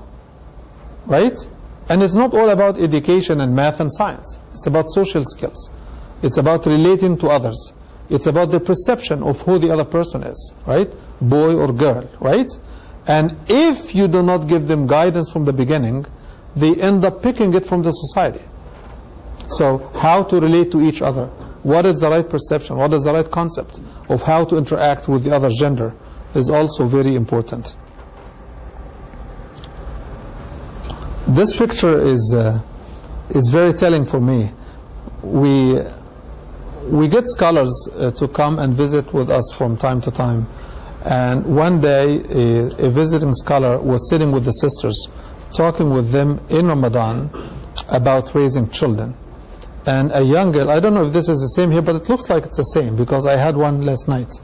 I had ice cream also, uh, thanks to Brother Ahmed. Uh, and the kid entered the room where the scholar was talking to uh, the mothers, the sisters, and the kid had a huge ice cream cone. She was only about four years old. So he looked at the girl and he said, What is this? We are here to talk about raising children, not uh, lion cups. What is this? If at that young age this is the cone that a little girl is holding, when she grows as old as, what do you get her? But eating was not uh, a, a kind of like side activity for the Prophet. The Prophet paid attention to kids as they eat. Why? Because eating is not about only social etiquette as to how to eat nicely and cleanly, but it's also about consumption. It's about consumerism. It's about economy. It's about greed. It's about satisfaction. It's about lust. It's about a lot of things. And uh, I want to tell you something that I have seen in many children. Children who are greedy when it comes to food are less likely to have control over other desires as they grow older. I want you to pay attention. If you have a child who is very hinged on food and he wants to take lots of it unnecessarily, you have to be careful. It's not only about weight, it's not about hygiene, it's not about etiquette, it's not about organization, it's about greed and uh, submission and caving in to the lust for food. Okay? And if he caves into the lust of food, there is a good likelihood he can cave into other lusts and other desires. So food is very important uh, as an issue with children and an issue of tarbiyah as well. And when your children go to school and they start activities like, you know, coloring and painting and stuff like this, not all coloring books are equally the same. Not all math books are equally the same. Uh, I have seen in math books, you know, adding up 10 crosses plus 2 crosses equals how many cross? Okay? Or the heart for Valentine, 3 hearts and 5 hearts equals how many hearts? So even math has been incorporated into and values have been entered into the math so that the kids can subtly pick values and pick sides. Okay? So not all education, not all coloring is innocent activities, even if it is written in children's books. Not all cartoons that are made for children are innocent because they are made for children. In fact, it is exactly the opposite. It used to be innocent 20 some years ago, but uh, uh, since the mid of the 80s, the cartoon producers have also incorporated certain values, social etiquette, social values, social beliefs, religious beliefs, were also entered into the cartoon.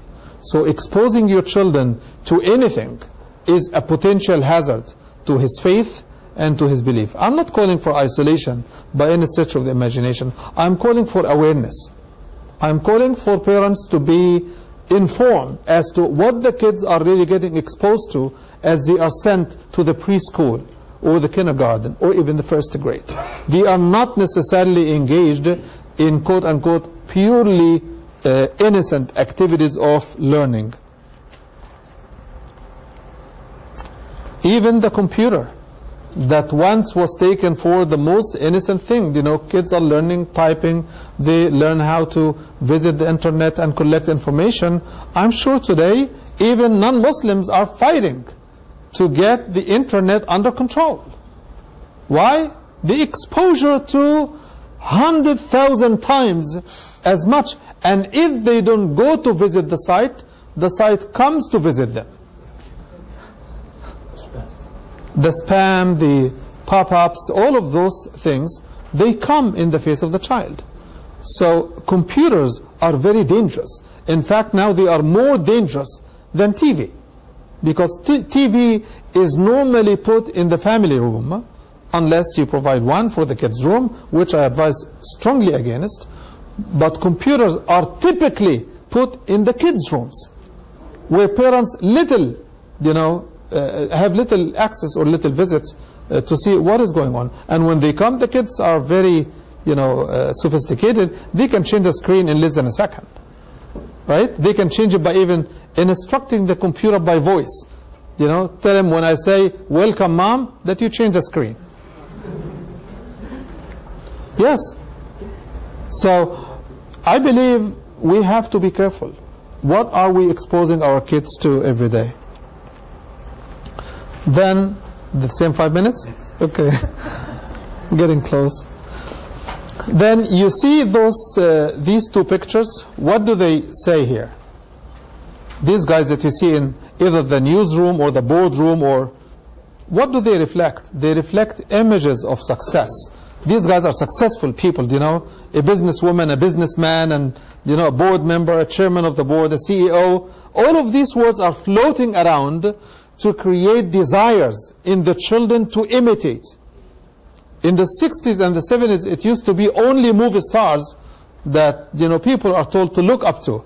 But now other images are popping up with different names. But the lifestyles behind those are not necessarily the ones that you want your kids to grow up in. So you have to also even, unfortunately, be careful when your kids look at these people and say, I want to be a broadcaster. And you may say, oh, yeah, we need people in the media. But you don't know that she wants to dress like her, she wants to talk like her, she wants to have a life like her. So don't take innocent comments from the kids as always innocent. You always have to ask the question, why do you think you want to do that? Anyway, then we're told that, you know, kids will have to make friends, you know. If they don't have non-Muslim friends, they will not be able to do da'wah when they grow up, right? If they go to only the Muslim school, they cannot manage their life in the college. Wrong. They can and much better so than those who grow up in the public school. Why? Because every creature that Allah created needs a period of custody, a period of incubation. Okay? For sucking milk, it's two years, right? For sucking the faith, it's about 10 years. You get the basics of it, right? You get the hang of it, right? Then to learn how to exercise your life according to your faith, it takes the rest of your life right? So the period of, uh, of uh, incubation is divided into four periods. Young children at the age of baby until two years old, then between three and six and seven, then from there to teenage, and from there on, from teenage until you die, you still need to be incubated. In what way? As an adult, I don't need incubation, right? I can do anything I want. But no, I do. I do. I do need your company, right? We need the company of each other. And this is a system of incubation, okay? It's not total incubation as you talk about it literally and scientifically, but it is a way of protecting one in the group, right? Children need it more than anybody else. Why? Because they lack the knowledge, and as I mentioned before, they lack the will, and they lack the options, they lack the vision, so they need longer period of uh, incubation whereby until they develop the knowledge, the information, and the will, then they can fly on their own in the college and beyond. But before that, it's very difficult to say, I have to send them so that they can be successful, they learn the other kids' lifestyles, and they become stronger in faith. They are not going to become stronger. They are going to become weaker. Because every day, instead of their faith growing and being nurtured in the Islamic school, it gets challenged. They get other options of other belief system, other lifestyles. So Uh, they get weakened and not nurtured. Of course, sports is one very good attraction for kids. And unfortunately, Muslim parents also, we can't really isolate our kids. You know what? You take them to the soccer game, you take them to the baseball or the football game, and you sit down and let them play Muslim, non-Muslim. It's a, it's a ball. But listen to how they talk to each other. Listen what makes them laugh and how they laugh. How they criticize each other. What do they do when they get angry? It's an acquired behavior from the group. And it's infectious. Whatever the popular boy on the field uh, does, then everybody wants to do to become popular. So it leads also into another system of conformity and trial to uh, uh, imitate everybody else. Okay, do you want to be a professional? You have to look like these guys, right? To dress professional and to act professional and to look professional. And then the society takes you one step further. Don't just be professional, be like us. This is St. Patrick Parade. Uh, oh, there is nothing. The kids will go, they will watch. It's music and it's fun. And they see other kids walking with their parents and stuff. But it's inviting. It's inviting. Uh, you know, the people uh, of the children of Israel, what did they tell Moses? They tell him, اجعل لنا إلها ها كما لهم آلهة. Huh? Make a God for us as they have made one for themselves. Give us something. Then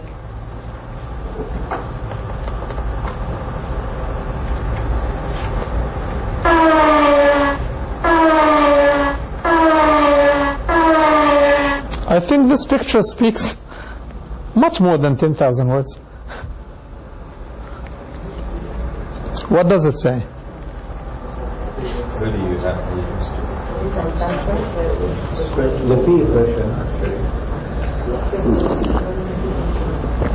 Gradual form. Hmm? Conform. Conform, but gradually. Yeah.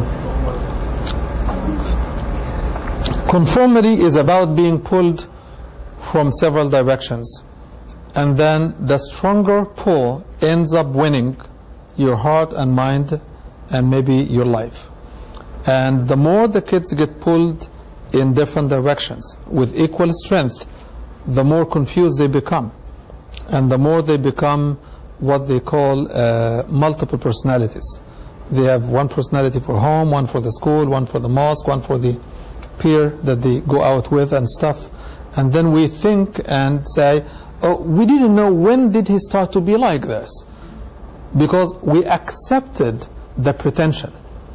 When they were young and they had no choice, they pretended that they are complying. They are praying, they are fasting, they are this, they are, and we accepted the pretension instead of the reality. Why? Because we took action for faith. We took action as a substitute for faith and understanding. And we are focused on do and don't much more than we are focused on understanding, reasoning, conviction. And this is something because it takes effort to reach this. It's much less effort to say, you have to do this, than saying, honey, we need to know, why do we pray? Right? What benefit should we get when we pray? What should we be thinking of when we pray? When we stand before Allah, what should come through our heads and hearts? What should we come out with as we finish prayer so that we can move on to the next activity? Where should we focus in our prayer? So it's much more difficult to explain, sit down and entertain all of this than saying, you know what, you have to pray. They finish, say, Salaam alaikum, alaikum salam, let go. Mommy, now can I do this? Yes, honey, go. Then honey goes to play two more hours because he prayed for two minutes, right? And he don't know what the five hours are about. So we have to balance what we give our kids. But this also tells us something. That people are attracted to styles and the outlook, the features, then they are attracted to the substance. So don't get hard on your kids when they want to fashion a model or something unless it is something in their head that is much more than the outlook. And in many cases it is. Because why do somebody, why does somebody want to imitate somebody else unless they believe they are less and he or she is better? And I want to be better. I want to be like him. These are cycles that our youth go through every single day. And the central piece here is that every issue of those is interconnected with the life of the child. You look at social and media pressure. You look at the kids' isolation between two rejecting cultures. They are not good enough Muslims for us to embrace them, and they are not good enough conforming to the society to be embraced by the society. They keep getting rejected by both sides. Uh, the infrequent mosque attendance, uh, that you don't bring them except once in a week, even so, if at all, insufficient youth programs in any Muslim community, youth are getting the least. Uh, weak Islamic centers, people are bickering much more than organizing. People are fighting much more than working. Uh, lack or weakness of the Arabic language, which is central to first-hand information on Islamic resources. The insufficient Islamic knowledge. How could somebody judge anything based on any value when he doesn't know what the values are? So these are very serious challenges. I believe I will, uh, I will stop here.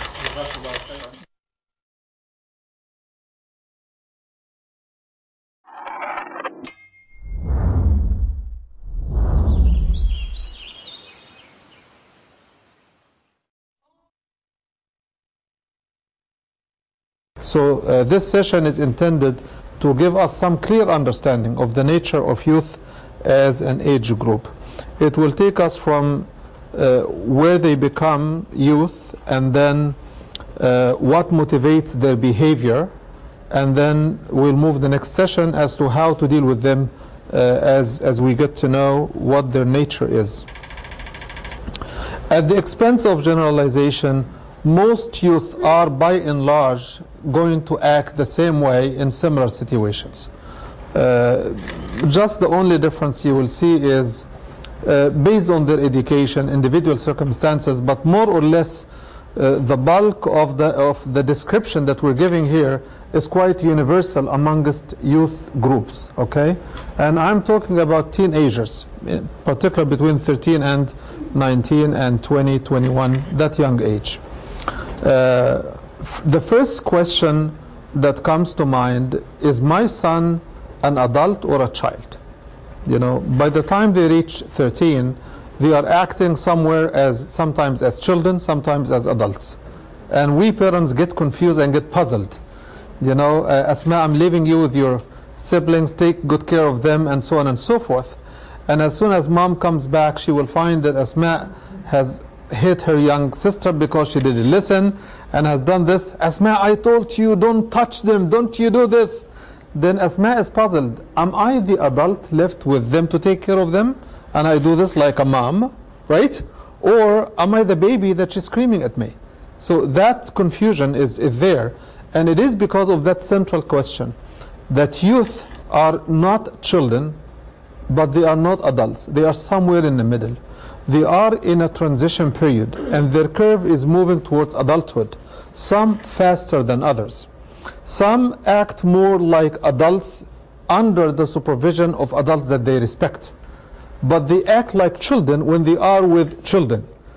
Okay, that's natural, that's expected. But the central issue is for us adults to recognize the fact that they are neither full blown adults nor are they children. Some of them will linger in childhood habits for a long time, depending on how much maturity is kicking into their heads and their hearts based on their information. So they are acting sometimes as old children or young men and women, uh, sometimes acting in innocence, sometimes in deliberation with intention, sometimes acting in ignorance, sometimes with full knowledge of what they are doing. Sometimes they act out of the desire to be uh, independent, but sometimes they act very dependent. I cannot do it, I cannot do it. Why? You're, you're a man. You say, I'm my own man, but they can't do it. So uh, sometimes they act out of obedience and sometimes out of rebellious uh, attitudes. Sometimes they act out of physical needs and sometimes uh, act motivated by grown up needs because they are developing part of both. Uh, sometimes they are acting because the space they need, and I'm talking about the social space, uh, is not enough for them. They need larger space. Uh, so between the two, you will find that children have needs, direction, and motivations that are different from adults. And youth get something from both sides depending on the situation and the degree of their maturity and their ability to handle the situation either as adults or as children or somewhere in the middle. Children act out of short term thinking. They need something, they need it now, and they need it here, right? But adults are calculating. They look, you know, they say, you know what, I will do it. But then in one hour they come and say, you know what, remember I did this and I want that. But they don't tie it together. But they do it out of planning and long term uh, recognition of time. So these are some basic uh, things that you need to look at as a parent. What falls under a child's behavior and why? What falls under an adult's behavior and why? Then we have to look at the youth nature. What constitutes uh, a typical youth nature? What is the nature of youth? What should a natural youth be like? First, understanding self in relationship to the environment. That becomes a huge issue with the youth. They want their own space, they want to be their own free men and women, they want not to be second guest, or they, they want to do things their way. So let us look at some of those things. Their physical growth has an impact on both their thoughts and their understanding and their reception ability to take what you say for what it is. They always take things their way. They process information in a different way than the one you're delivering the piece of information you have. Also, you will find that their mental growth also has an impact. Their ability, one time they take you for the angel you say you are, the infallible human being, the prophet like dad or mom. But then as they grow older and discover you're missing on your prayer, you also get angry and you lose your temper. Okay? You're not also doing your assignment on time even in your job. They discover that everybody is really fallible and they become rethinking of how innocent and sometimes stupid they were taking us for the angels we once projected ourselves to be. And this discovery can shock some and can bring some awareness to others. It depends on how they react to this. Uh, the awareness of people, the environment, and the issues also becomes different. They are not now the guys that you can say, you know what, honey, if you pray and you do this, I will give you a piece of chocolate. You can't do that. You can't bribe, you know, a teenager with something like this. So you have to think as to what kind of things that you can use for conditioning to get them to cooperate. It's not the children's stuff anymore. Also, they develop that independent will away from the father, away from the mother, that is their own. So now you're going to visit a family, a relative or neighbor, then he used to pack everybody in the car and move. Now he's a teenager.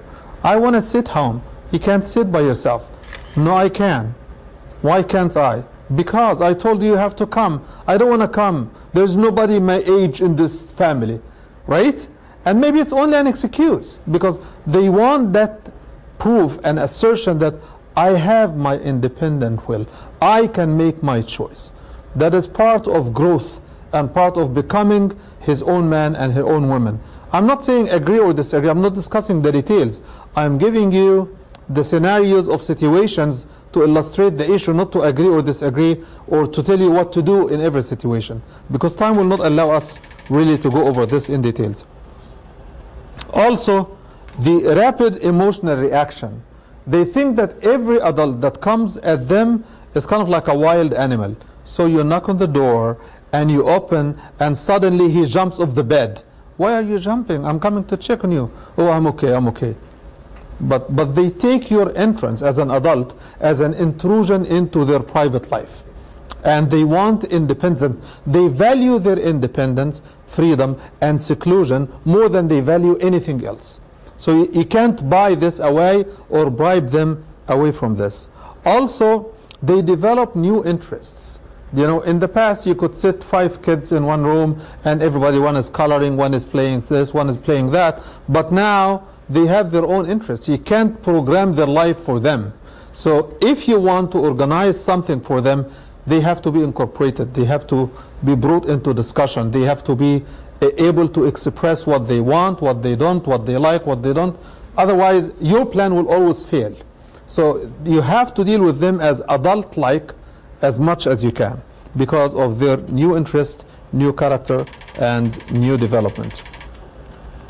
Also, they have a big thing with authority. You know, whether it is teachers, parents, the imam, the community leaders, they always have an issue with authority. Why?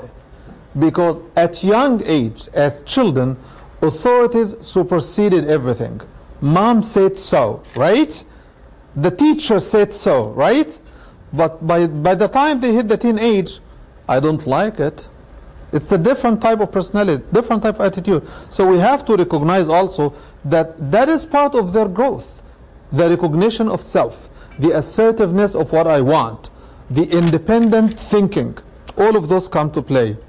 Uh, but also, as I said, when they discover the, the fallibility factor of how weak and vulnerable we also are, and they discover our shortcomings, they lose some trust in us. And that's natural. They lose some trust. They know that we are humans. We are all bound to make mistakes and stuff. Don't be disappointed that they know that. Because that also becomes part of their learning experience. That they are not to shoot to become angels and keep disappointing themselves and others. We don't want our children to try to become angels. We want them to try to be humans, but good ones for that matter. Okay, so the lack of trust is a positive and negative factor. We can talk about this in discussion. Their desire for separation and seclusion is also part of establishing one's own space, social and environmental space, whereby you can have four kids in one room when they were young. Now everybody wants their own room, and they don't want it just to sleep. They want to sit in the room by themselves. When the whole family is taking dinner, come take dinner with us. I don't want to eat now. Why? Because. Where is the rest of the sentence? Do you know? so that whole thing is about what? It is about if you don't know me by now, why should I answer you anyway? That's what it boils down to. So they give you th those short answers, and what you need to get is are you comfortable staying by yourself? Of course he is comfortable. He wants to be by himself. What do they do when they are by themselves? We'll talk about this at length because that is an important element here to discuss. Challenging adults and all authorities is part of growing up. You know, when they were young and everything is yes, with or without a grudge, now they have the power to say no. They can say no and you cannot drag them and move them where you want. They have the power to say no, but challenging authority is a very important element in their growth from childhood into adulthood. It's a big move for them. So when they challenge your authority, Daddy, what did you talk to your mom like this? You know, you tell me to respect my mom. By what? Why do you talk to your mom like this? It's a way of saying, I'm not seeing consistency. But they say it in their way. Okay? So you need to explain yourself. You need to humble yourself a little bit as a parent and be able to be vulnerable yet consistent. Vulnerable means that you accept your weaknesses and take responsibility for your shortcomings. For example, to tell them it was wrong for me to do it. And I hope you don't end up doing this to your mom. That is responsibility. Okay? so challenging adults and all authorities is part of their growth. Challenging established values, norms, and rules. Uh, do you know what? I, I want to stay with my friends tonight. What do you mean stay with your friends? You've never slept outside the home. Oh yeah, but tonight I am. Why? What's special about tonight? All my friends are all getting together. We're staying together and stuff. You as a parent have the choice to say yes or say no. But you have to balance because everything in life is a trade-off between an interest that you are keen to keep and a relationship that you're trying to achieve. And we can talk about the balance between interests and relationships. There are models in management, uh, uh, uh, uh, management models that can tell you as a parent when do you give more value to the relationship and when do you give more value for the interest that you want to keep. Th there are models to look into this. Also, it is good for them to challenge the values that you have established for them as children because they are going to be challenged by their friends, by the environment. And by challenging you, most of the time they are seeking answers to take to their environment. It's not that they hate what you're doing or they hate what you're instructing them to do. It is that they don't know why because at young age they were neither able to discuss nor were they given information as to why they are doing what they are doing. Uh, rejecting criticism. Criticism is like fire for youth. You start on the note of criticism and you really ignite fire in their heart and soul and they become crazy. Why? Because for them, my decision, my attitude, my behavior is part of me. Uh, they are unable to separate themselves from their opinion. So when you discover that they are wrong in their opinion, instead of destroying their person to criticize the opinion, separate the opinion first. For example, but why, why can't I date? You know, everybody's dating. You know, and, and this is, after all, is a Muslim girl. And her family knows it. Okay? Why don't I date her? She's, she accepts it, they accept it, and everything is fine. Well, this is not about you. This is the it's separate. This is not about you. This is about the principle itself. Would you like somebody to do this with your sister? Would you like your sister to stay out with somebody that the family is uncomfortable with in a context that is unacceptable? That's, um, again, it's away from his person. But if you take the discussion in the direction of, if you do this, you're not my son, then you broke everything. There is nothing for him to keep. Okay? So you have to always keep that connection and value the relationship, but at the same time establish the principle so that you get the discussion where it should be. Reactionary and uncomfortable, that's what youth is. They react very quickly and they are very uncomfortable where they feel that they are not accepted, embraced, and uh, involved uh, in, in the circle where they are. That's why youth love to be with youth. They want to be with each other because they can relate to each other much more than they can relate with their younger sibling if you want to leave them home or with you and your friends if you want to get them to sit with you and stay with you. And that's why I was talking in the lunchtime with our brothers here about the idea of establishing Muslim youth centers. Because our mosques and our Islamic schools are unable, I believe, to attract youth or be youth friendly because of the rules, the structure, the way they are run, and the way they are managed. But if you establish one single Muslim youth center somewhere in the country, other places will copy you very soon.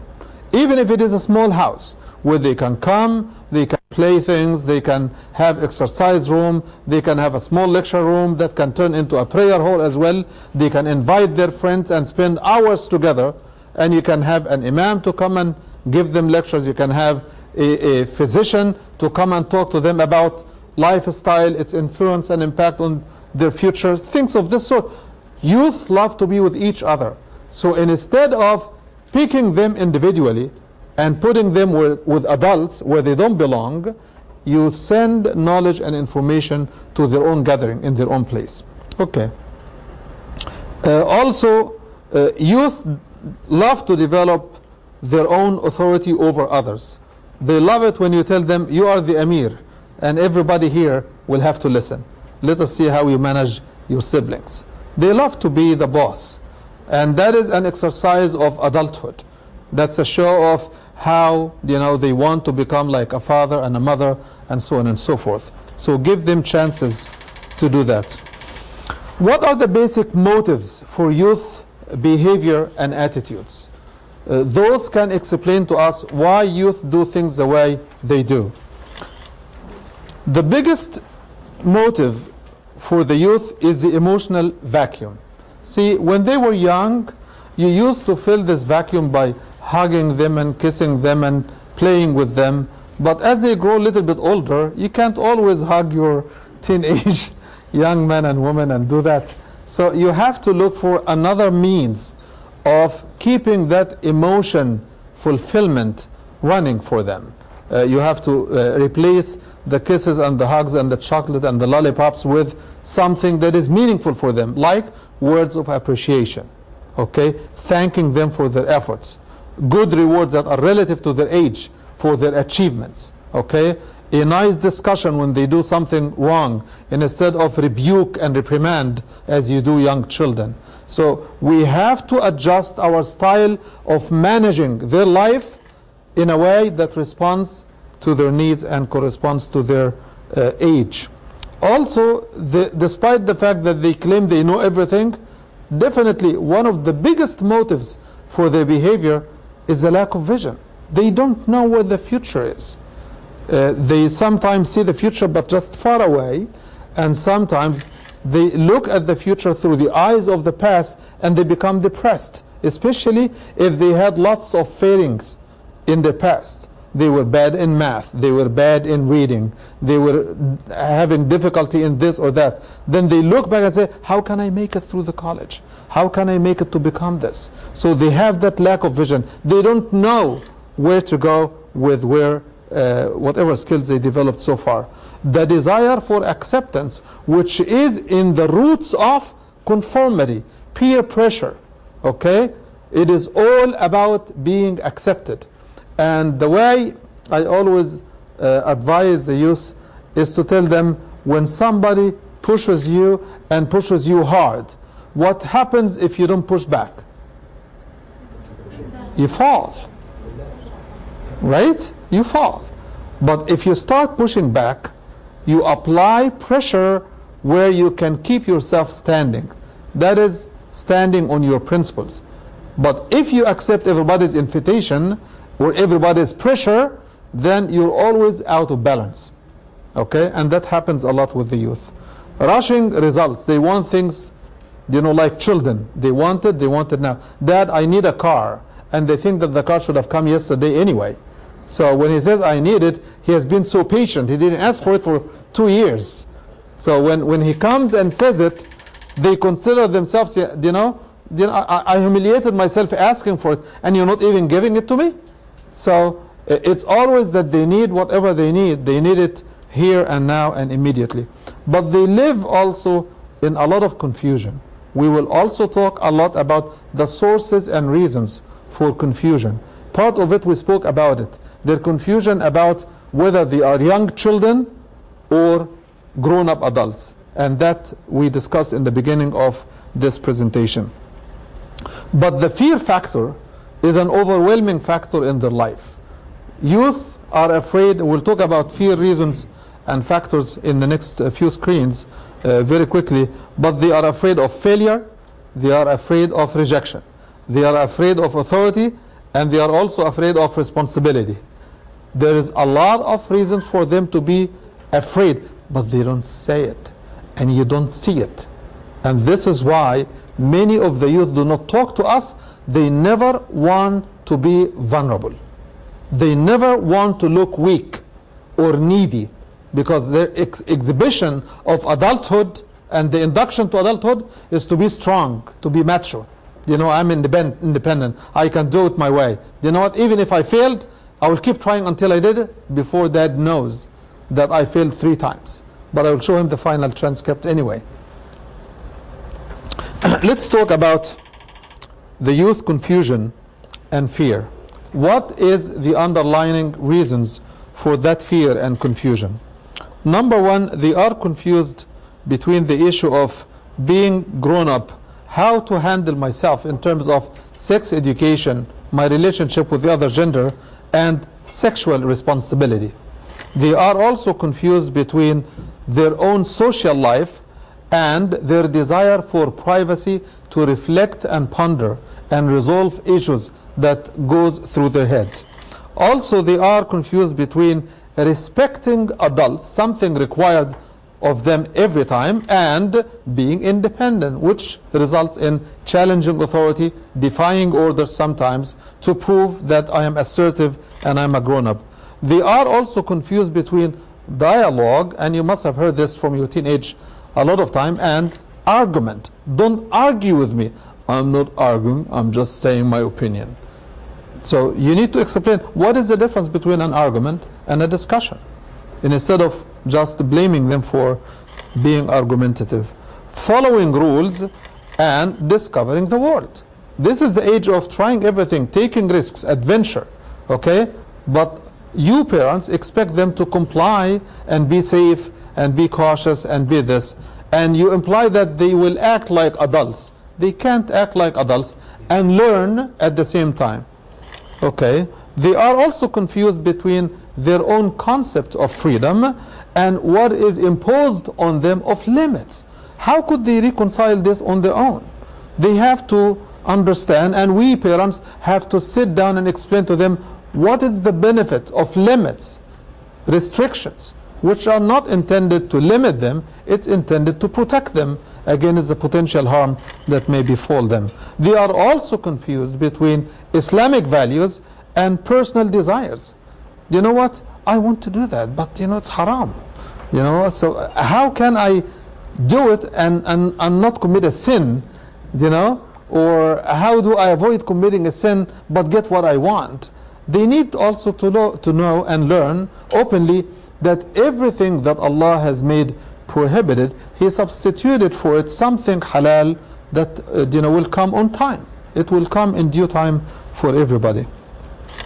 They are also confused between their desire for change and their own process of changing from childhood to youth to adulthood and stability. They value stability very much, but they love to take risks and get adventures and uh, discover everything else. So these are some of the reasons, and the reasons continue still. They are also confused between adults' claims of infallibility and perfection. I want to have the perfect child, uh, the straight A, the one who memorizes the whole Quran, and even Bukhari and Muslim if possible. And adults as humans. If, if, if, if you look at yourself when you were their age, you will appreciate the struggle they are putting and the achievements they are making and recognize the changes that they are going through. Uh, they are also struggling between education and certification. What does math have to do with my life? You know, some kids ask, you know, what do I use geography with?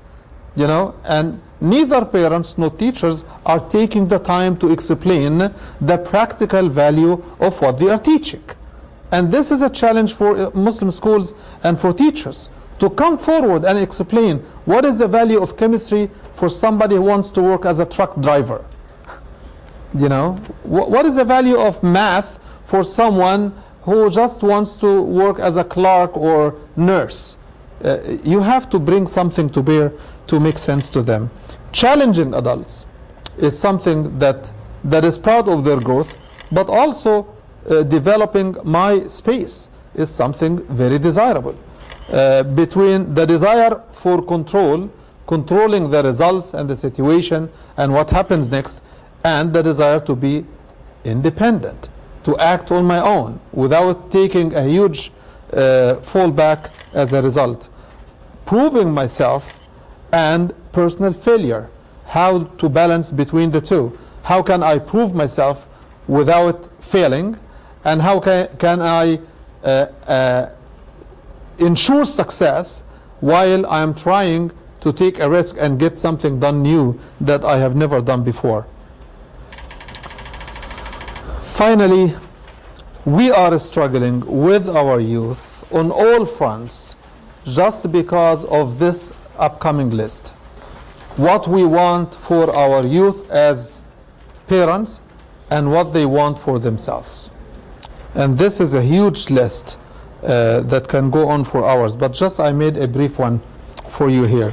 Our desire for control uh, contravenes their desire for freedom. Our desire for uh, their total submission to our authority contravenes their desire for independence. Uh, our desire for absolute obedience is also contrary to their desire for convincing reasons as to why they have to do what we tell them to do. Our desire for ensured, secured results We want to make sure that you're not going to have an accident. I want to make sure that you're not going to get an F. I want to make sure that your friends are not going to suck you into problems. I want to ensure all the results. And their desire for adventure, taking risks, and developing new skills. Desire for total discipline that we request of our children, and their desire for a space for themselves our desire for total accountability. I want to make sure that you report to me about everything you do or not do, and their desire for some tolerance, that they are not held to an angelic, unreasonable, untenable standards. Our desire for immediate compliance, I want you to do it, and when I say it, I want it done and finished. And their desire to have time to grow and mature. Uh, these are uh, some of the basic issues that relate to youth as an age group. And I hope that by going through the list, which I did very quickly for the sake of time, you have developed some sense of what it takes to mature, nurture, and grow my child from a young child who's very completely submissive and obedient to uh, an independent young man who can make decisions, who can take risks without, you know, necessarily failing under your guidance, ha- who can have some independence but also respect adults and relate to them in the appropriate way. Balancing all of this together is what this is about. Wallahu alam. Jazakallah It's overlapping. Yes, they, they, they overlap because you can't really separate one from the other. I'm challenging the adults to establish my independent, uh, assertive will of myself. And I am trying to get myself space which will give me independence, right? And to stay away from adults, I'm secluding myself to reflect and ponder on things on my own. Uh, I'm not joining adults in everything they want me to join because I want to be my own man. They all interfere and overlap. That's part of talking about any human traits or activities, they tend to overlap. does it also perhaps uh, reflect their confusion? Sometimes they want It, something. it plays into their confusion, it plays into their fear of openness. As I said, they, they become very scared to be vulnerable because we adults have sharp tongues when it comes to criticizing our children. Okay? And uh, we, we, we, we don't have uh, enough vocabulary to encourage and support and express compassion and empathy and so on and so forth. They are afraid of us. Yes. It's, uh, I guess it's difficult to address solutions to every situation with, with the children at, at different ages and age groups. so where can we read up on, on this or what can we, um, how can we follow up, you know, have you got any books that you've written, any things we can, You will get the answer to this question the next session. Because the next session talks about how to deal with the youth. Considering all of these factors, we, I've developed about 30 bullet points that take you from the beginning to the end, how to deal with youth at your home uh, in varieties of situations. besides that, have you, is there anything we can? I have not written books, no. I, every time I do this workshop, yeah? Inshallah, inshallah. Maybe on my way back. Inshallah. I have 24 hours, yes. Yes, uh, I, I would just like to thank you, brother, for the presentations.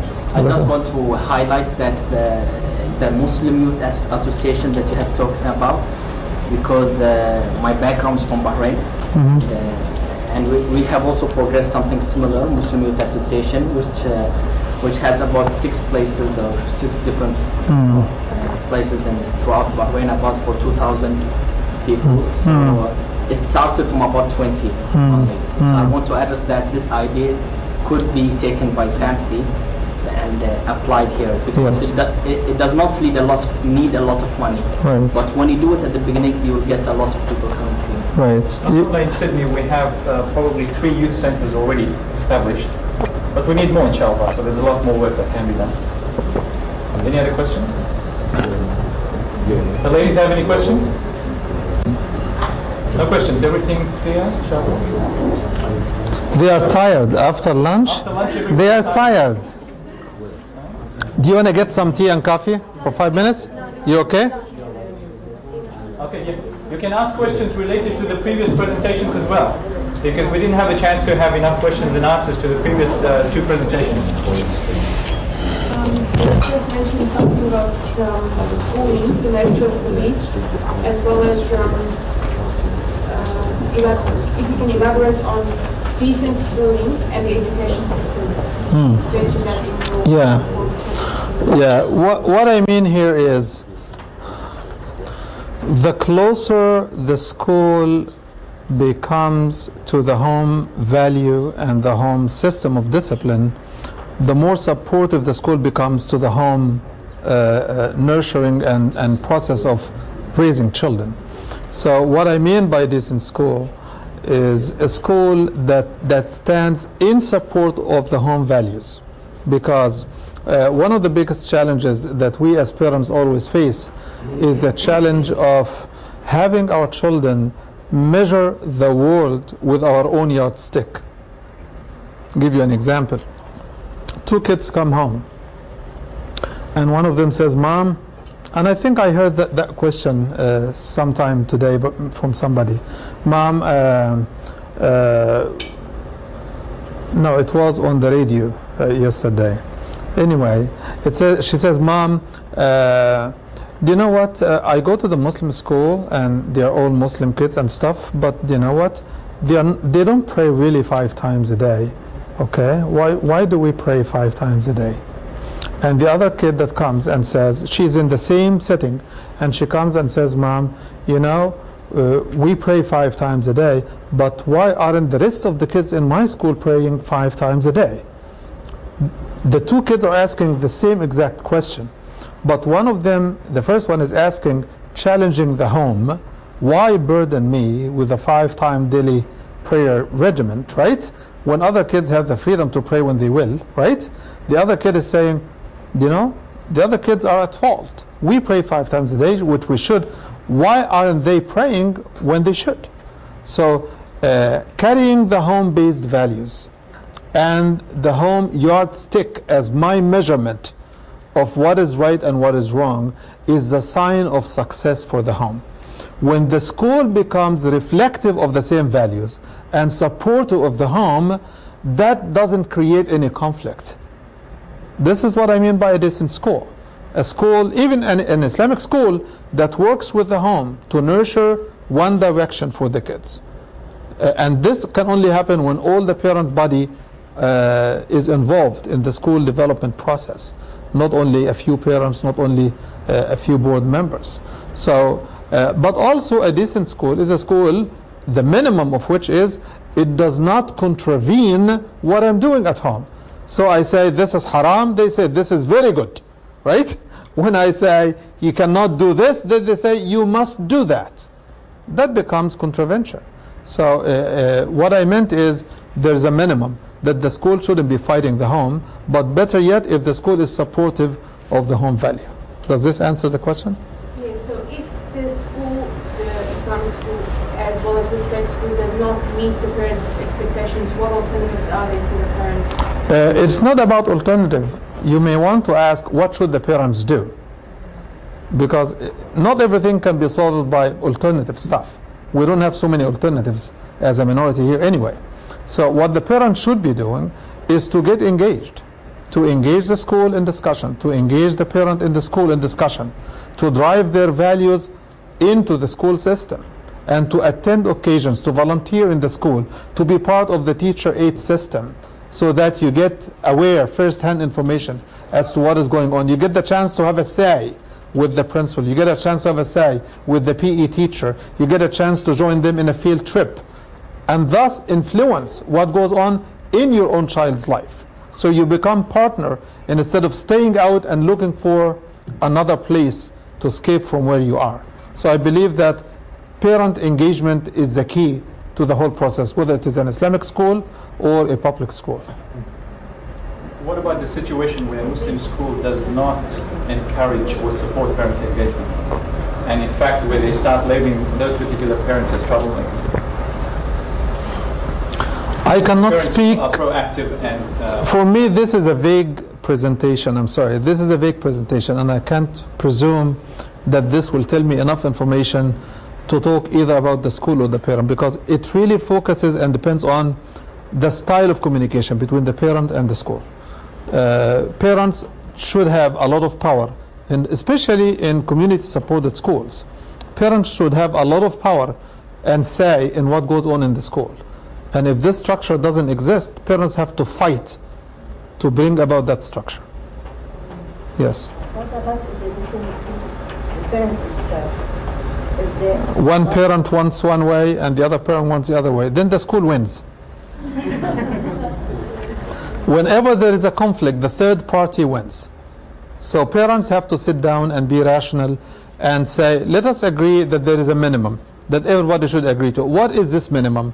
Then we say children shouldn't be allowed to use foul language in the school premises. Children should not be allowed to curse each other. Children should not be allowed to cross certain limits. This is at least a decent limit that everybody should agree to. I'm just throwing an example.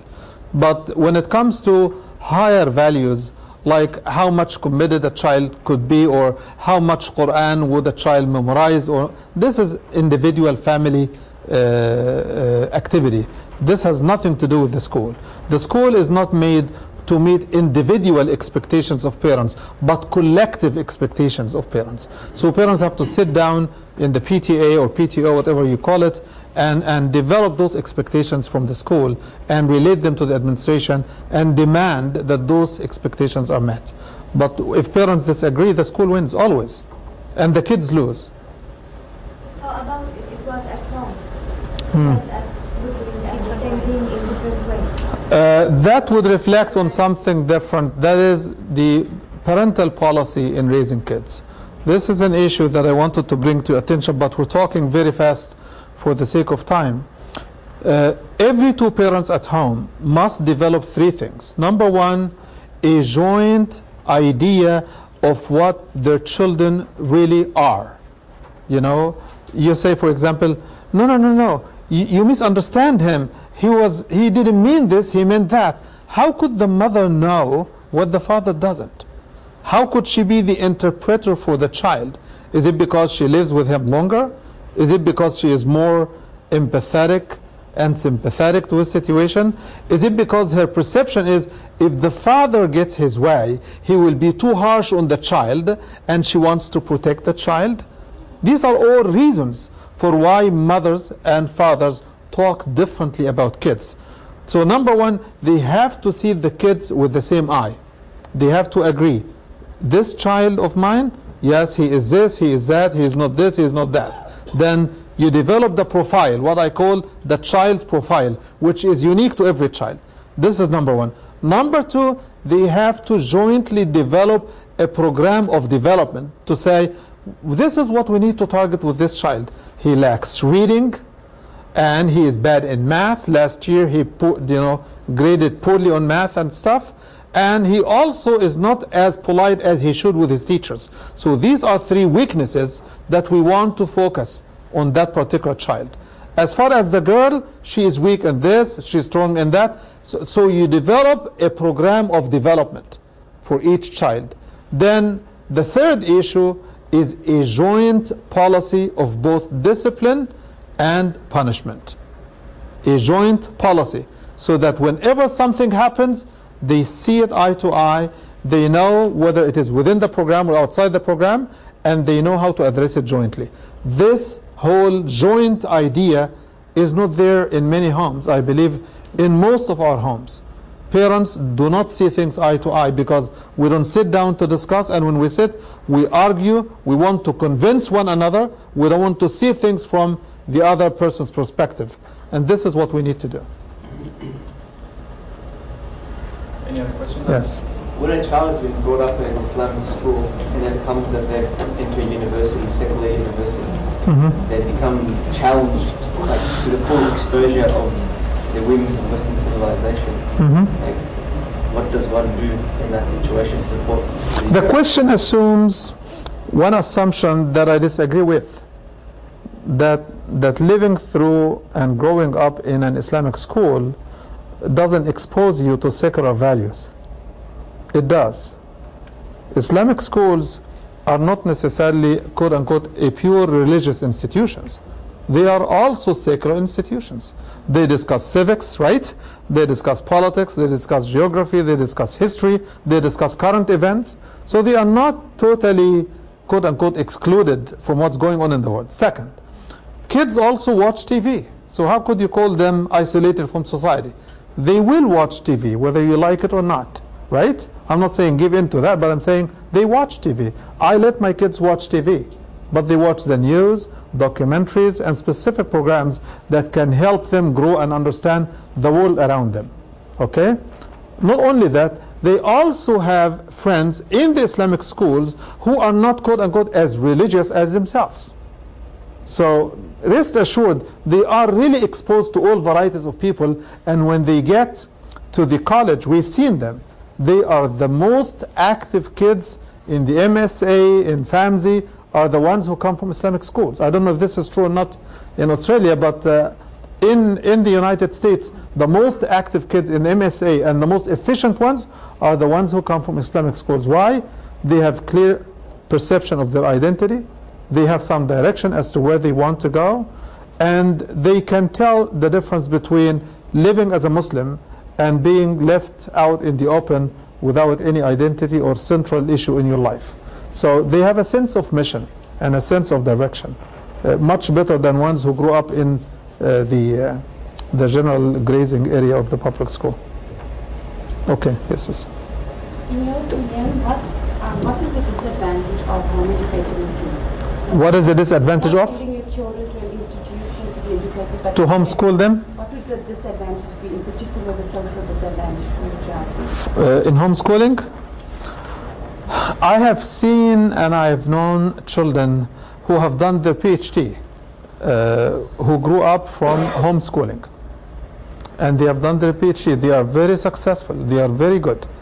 Uh, but those are individual cases. I do not, I do not know of a study that would document uh, anything but that there is a social disadvantage for kids who study uh, at homeschooling, especially if they are not uh, accorded a chance to interact with other kids and to go out in the open, to have field trips like other kids, and to go and get exposed to the society.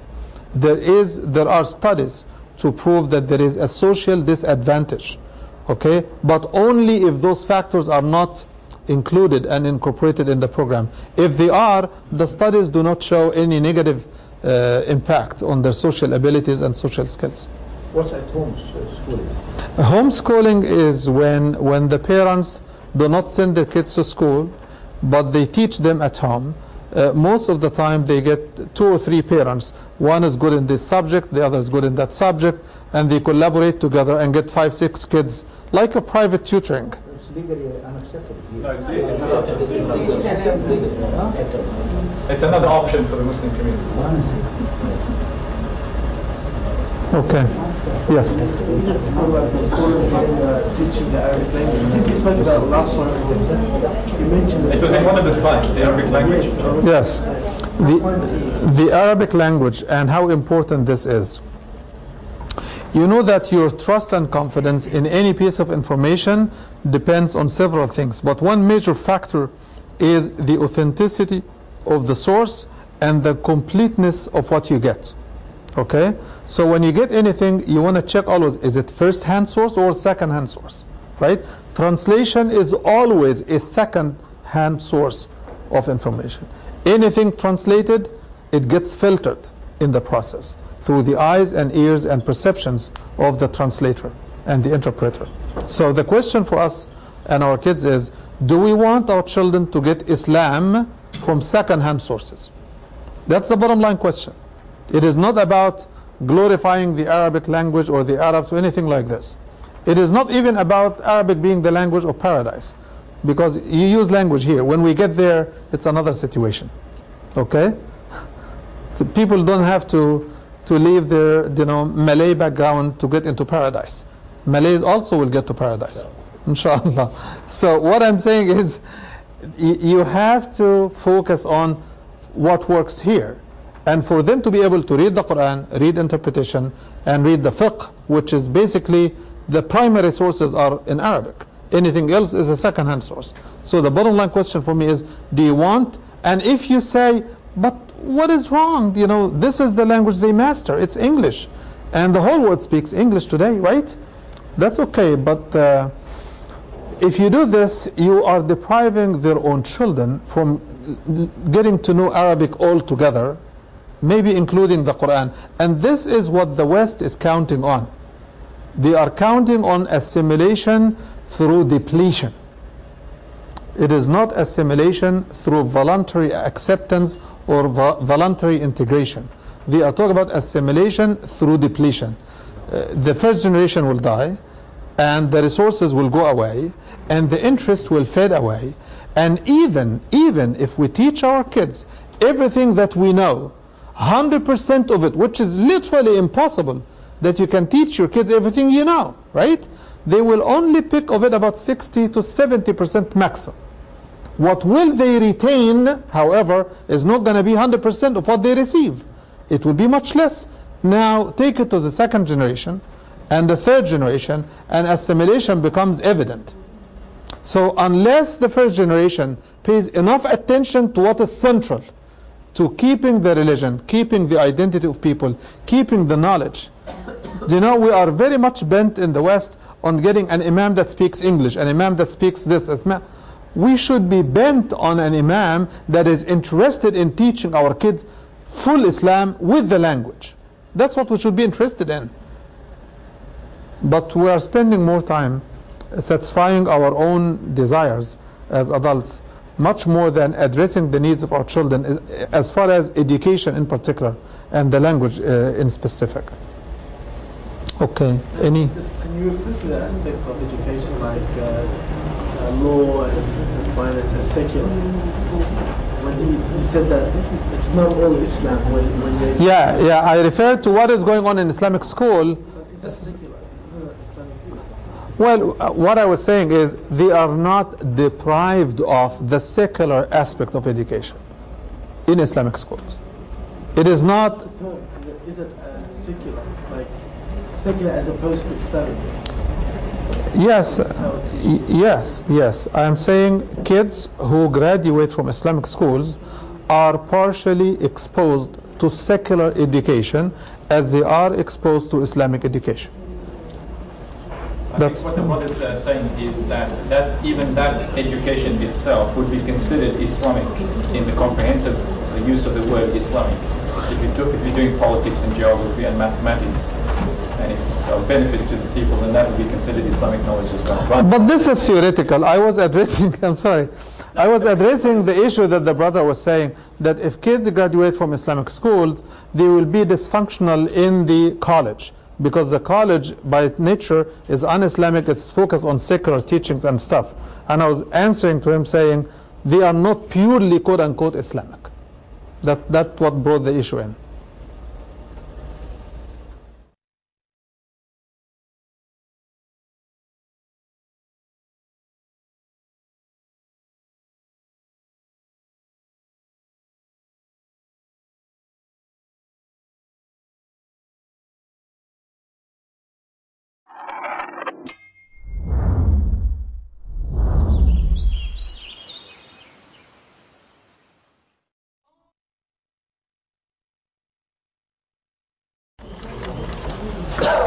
Okay.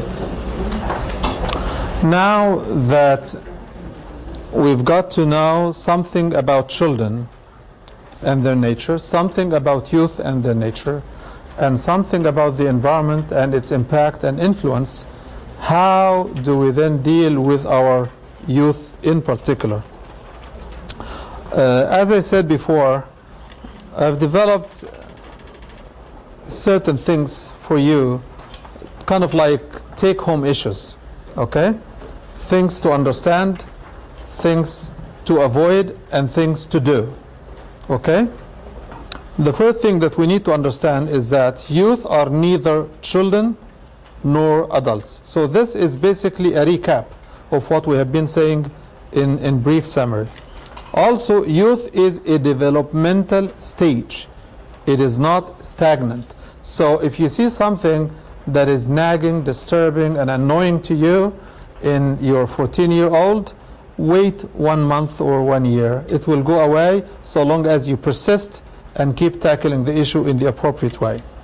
Youth have needs, desires, and wants, and we have to work with them as to what is appropriate and what is not, how to achieve uh, their needs, and how to satisfy their desires in the appropriate way, and when and how to postpone some of those until time comes to fulfill them. Youth are extra sensitive. So we have to be sensitive. We have to be, in fact, extra sensitive when we talk with them. Youth prefer space over interest. They prefer to have their own space much more than achieving something good for them. Okay? They, uh, adults are not always right. Sometimes we are wrong, and we have to recognize this and deal with it. Every teenager is a different person. You can't say, oh, when your brother was your age, he did this. It doesn't matter. Okay? Okay, these are things to understand, things to do. Accept youth as a transitional stage. Let me see if I missed something. Okay. Sorry for that. Accept youth as a transitional stage. Okay? Which means you keep looking for what is to come and you keep benefiting from what how you achieved where you are and look back at lessons learned. You keep evaluating the progress in their life as they transition from children to adults. Determine your child's character traits. As I mentioned, the child's profile. What works for him, what doesn't, and so on and so forth. Determine your goals for him or her. What are the weaknesses? What are the strengths? What do you want this child to be or do? And then specify how to deal with every quality that you determine in their profile. What to nurture and develop and push forward, and what you try to change. Determine everyone's needs and wants, and these are not the same. They may need something that they overlook, and as such, they don't want it, but they need it. So you have to be able to determine for them what their needs really are. To deal with each according to their own nature, not according to your imagination of them. To help them define goals and plans. Youth will not accept ready-made plans to tell them, take this and go ahead and do it.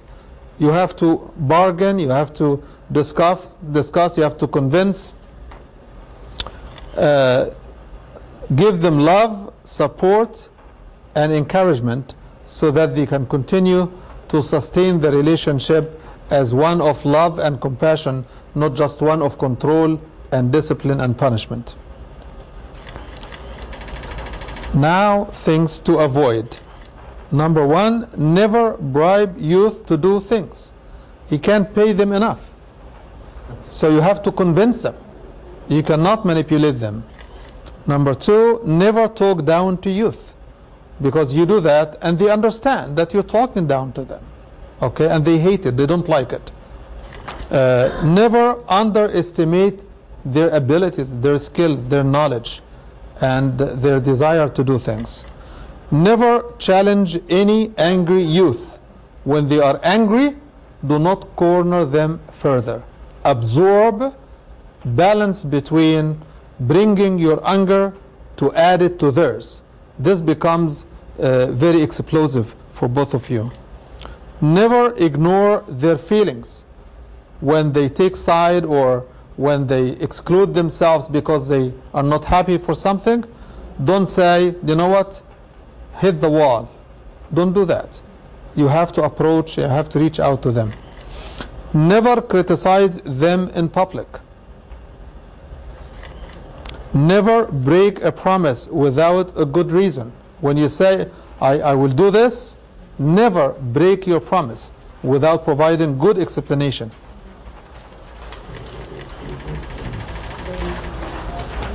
Despite all of that,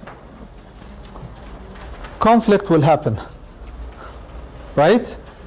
Parents and kids are bound to conflict just because they are different, just because they are different generations coming from different perspectives, looking at different interests, wants, desires, needs, and things to care about. So conflict will happen. How then do I manage or resolve a conflict with my children? First, do not rush to judgment or decisions. Whenever a conflict arises, never come up with your final conclusion before the discussion has ever started. Okay? Don't say, I know you, you've always done this because that breaks the whole thing of opening a discussion. Decide if time is fit for discussion. Not every time there is a conflict that the time is ripe and good for discussion at the moment. Maybe you want to leave it for some other time. Maybe you want to leave it for a day or two. Sometimes they reflect on their own and come back and say, you know what, I was wrong.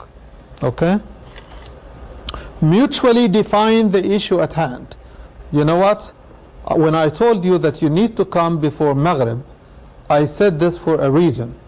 And when you come right after Isha, two hours later, don't you think that this disturbs me as a, as a father? It sure does. But, but uh, you know, uh, my friends were late and uh, I had to drop them off because one of them had a flat tire and stuff. Then the answer is call me. Let me know that you're late. So and instead of challenging, give them the exit. Next time, I want you to call me. Could you have done something different? Okay, so instead of cornering and pushing, you give them a way around the situation. Keep the focus on what is important. And instead of discussing all the problems that the, the, the person has in, in their life, just bring the issue that you're talking about and focus on it. If it is about being late, let it be about being late. Don't talk about the flat tire uh, mechanic and this. Company. Yeah, don't bring all issues on the table at the same time. Focus on what is important for you at the time because kids cannot take cumulative stacked problems. They think that you're just stacking the deck against them to, to render them guilty of anything. Define principles governing the situation. Tell them, did we agree that you should be here before Maghrib? Oh, but, but did we agree that you should be here before Maghrib? You have to get them to recognize that there is a principle at stake here. Okay? And then you can be lenient about anything else. Define the start, the cause, and the reaction. How did the problem start? Did it start with them playing chess or watching a movie that took longer than needed? Or did it start because actually the flat tire happened or because one of them wanted to drop by a store and they got delayed and stuff. So you have to determine where did the problem start so that you can put your hand on what is wrong and then follow the trace of the developments. Assure them of love and commitment because this is an essential element of good communication that you are communicating out of love and care. Because most of us, when we communicate with our kids in conflict situations, we communicate out of fear. And fear does not bring the best out of us. Love does. So focus your motive on love, not fear. Promise the least penalty if he is taking responsibility. Said, you know what? I just want you to tell me how would you handle the same situation if it happens tomorrow? This will lead to taking responsibility. I'm going to call you, I'm going to make sure that the car has gas and oil and stuff. I'm just using this as an example. Then agree to correction and future approach to the same problem. For example, if he says, you know what, I'm going to pay for the flat tire. That's fine. Okay? Or I'm going to give up my next weekend's trip with them. I'm not going with them that is an acceptable resolution as well.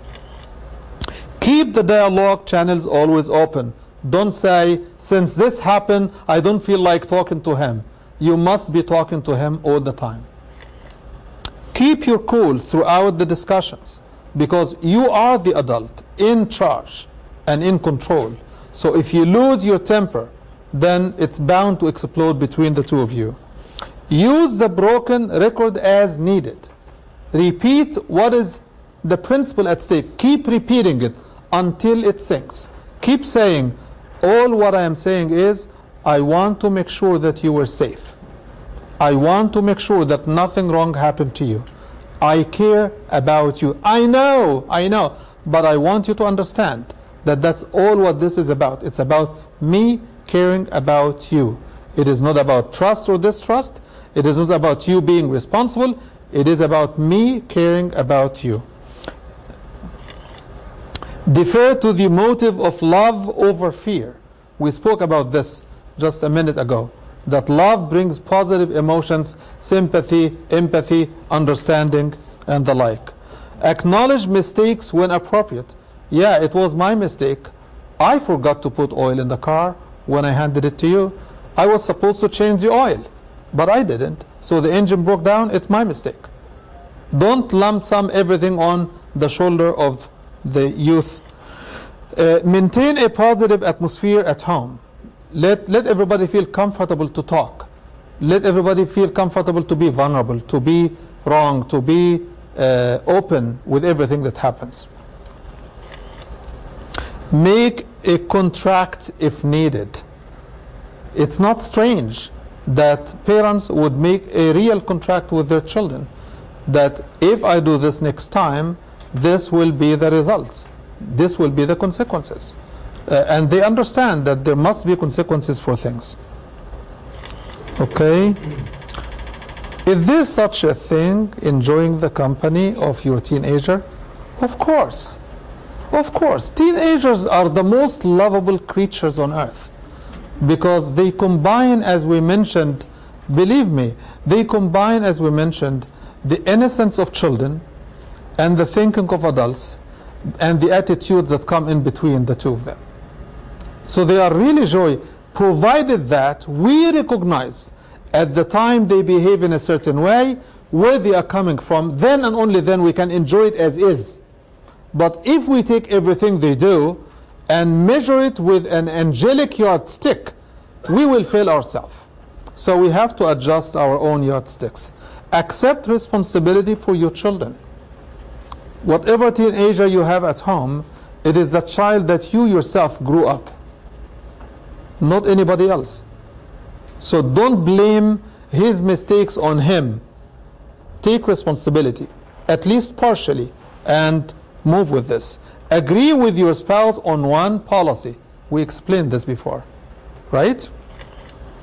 Raise your children to love Allah, to love the Messenger, wasallam, and to love the Quran. Children who grow up with the Quran are totally different than children who grew up not knowing what the Quran is really about. And this is central in this whole issue. That uh, if you let Allah speak directly to the kids and you become the facilitator, it is totally different from you trying to be God on earth for the children. Should I repeat this again? If you adapt the role of the facilitator, making Allah lovable to your children, and you only facilitate Allah's access to your child and your child's access to Allah, instead of trying to be God on earth on top of your children, these are two opposite attitudes. Let me tell you where I'm coming from. You read in Surah Luqman, uh, Allah subhanahu wa ta'ala telling us that Luqman spoke to his child. What did he say? He said, Ya bunayya, O my son, لا تشرك بالله associate no partners with Allah subhanahu wa ta'ala إن الشرك لظلم عظيم immediately right after what does the Quran say ووصينا الإنسان بوالديه right likewise وقضى ربك ألا تعبدوا إلا إياه and immediately وبالوالدين إحسانا what is the relationship here can somebody help me with this why, why is this combination? Why is it that Allah, who doesn't like any partners, any associates, says, أَنِشْكُرْ لِي وَلِوَالِدَيْكَ Why? You can say all you have in the world, that parents are important, parents are the ones who do that, but, but there is one reason that Surah Luqman is pointing out. Do the children the parents? um, It's the authority, it's the authority on, on the the message is going through the bird, the word. That is true. The message in Surah Luqman, thank you, sister. The message in Surah Luqman says something uh, very important. That is, if you, the parent, deliver your children to Allah in submission, He will deliver them back to you in obedience and kindness. You get this? If you focus your role on delivering your children to Allah, you need not to worry about them being kind to you. This will come, and it will come as part of their worship to Allah subhanahu wa ta'ala. They will not struggle to do it. They will do it and do it naturally. Okay? So, this is exactly the opposite of trying to be God on earth, enforcing the rules and insisting on this, fighting the kids to make them in your image. Instead, push them kindly towards Allah subhanahu wa ta'ala. It's like inviting in America, uh, we have a saying, I don't know if you have the same thing, uh, you can take the horse to the water, but you cannot force them to drink. Right? And if you do, you end, you end up drowning them, right? So you have to bring your kids closer to Allah subhanahu wa ta'ala and help them know how kind and merciful and compassionate Allah is. He is the best of company. He is with you all the time. He is the one who gave you this, gave you that. He is the one who took care of you when you were young. He is the one who's going to take care of you when you get old. He is the one who provides. If, if Allah becomes uh, settled in the heart of the child, there is little education needed to give them information and they will go with it on their own. It becomes on automatic pilot. Not necessarily, there is nothing called automatic when it comes to raising children, but at least it becomes much easier than fighting on every issue, on every corner, every turn. Huh? It's a catalyst. Yeah, the parent as a catalyst is, is You know, their faith in Allah is a catalyst to, to get them to believe yes. and help them in life. That that also is true. So let's go back here. Um, establish a regular family study circle. How many of us sit down with their kids around the Quran and the Hadith and the Sunnah on daily basis? Okay. How about once a week? Once a week.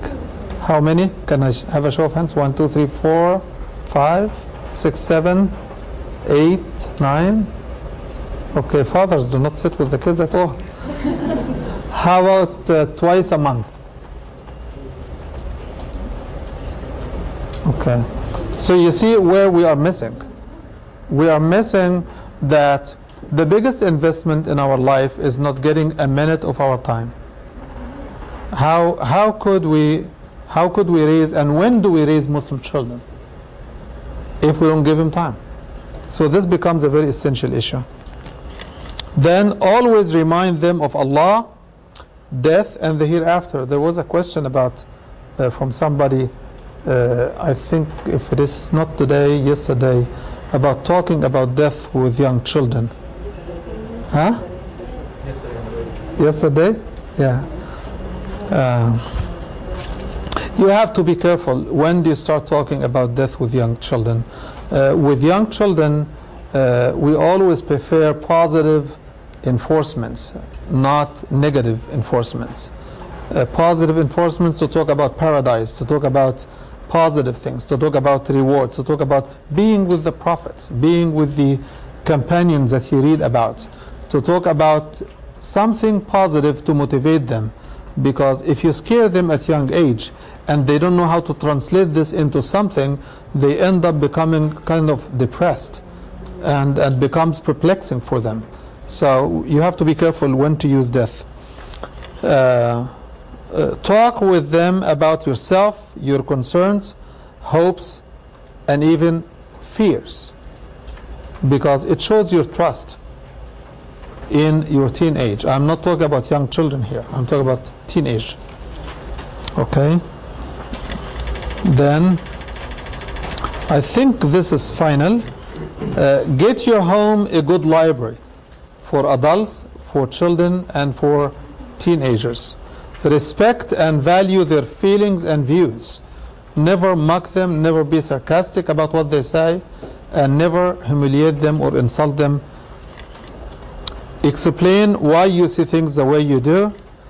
Keep their secrets. When they give you something in confidence, keep it because you break that trust and it's very difficult to rebuild it. Be fair and be just to all of them. Accept the positive change in their behavior, which means you have to monitor their development. And whatever positive that you see in their behavior, you keep acknowledging it to reinforce the development of positive behavior. Fill their time with planned activities as much as you can, but plan it with them, as we mentioned before. Join them in positive activities, take them, go walking, biking, hiking, trips, camps.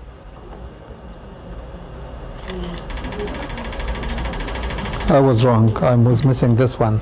Consult with your teenagers on issues of concern, give them some house responsibilities, deal with them as brothers and sisters, stay in touch with your child and his school, listen carefully to anything they say. Anything means anything because sometimes they give you subtle messages. And when you get letter to say, you didn't tell me, no, no, I told you this. That's what I meant. So pay attention to anything they say at any time. Uh, emphasize the love for the sake of Allah as the backbone of your relationship with them. Meet their reasonable expectations as much as you can. And finally, always make dua for them all. May Allah subhanahu wa ta'ala protect all of our children and guide us to be the best parents we can. Jazakumullah khair.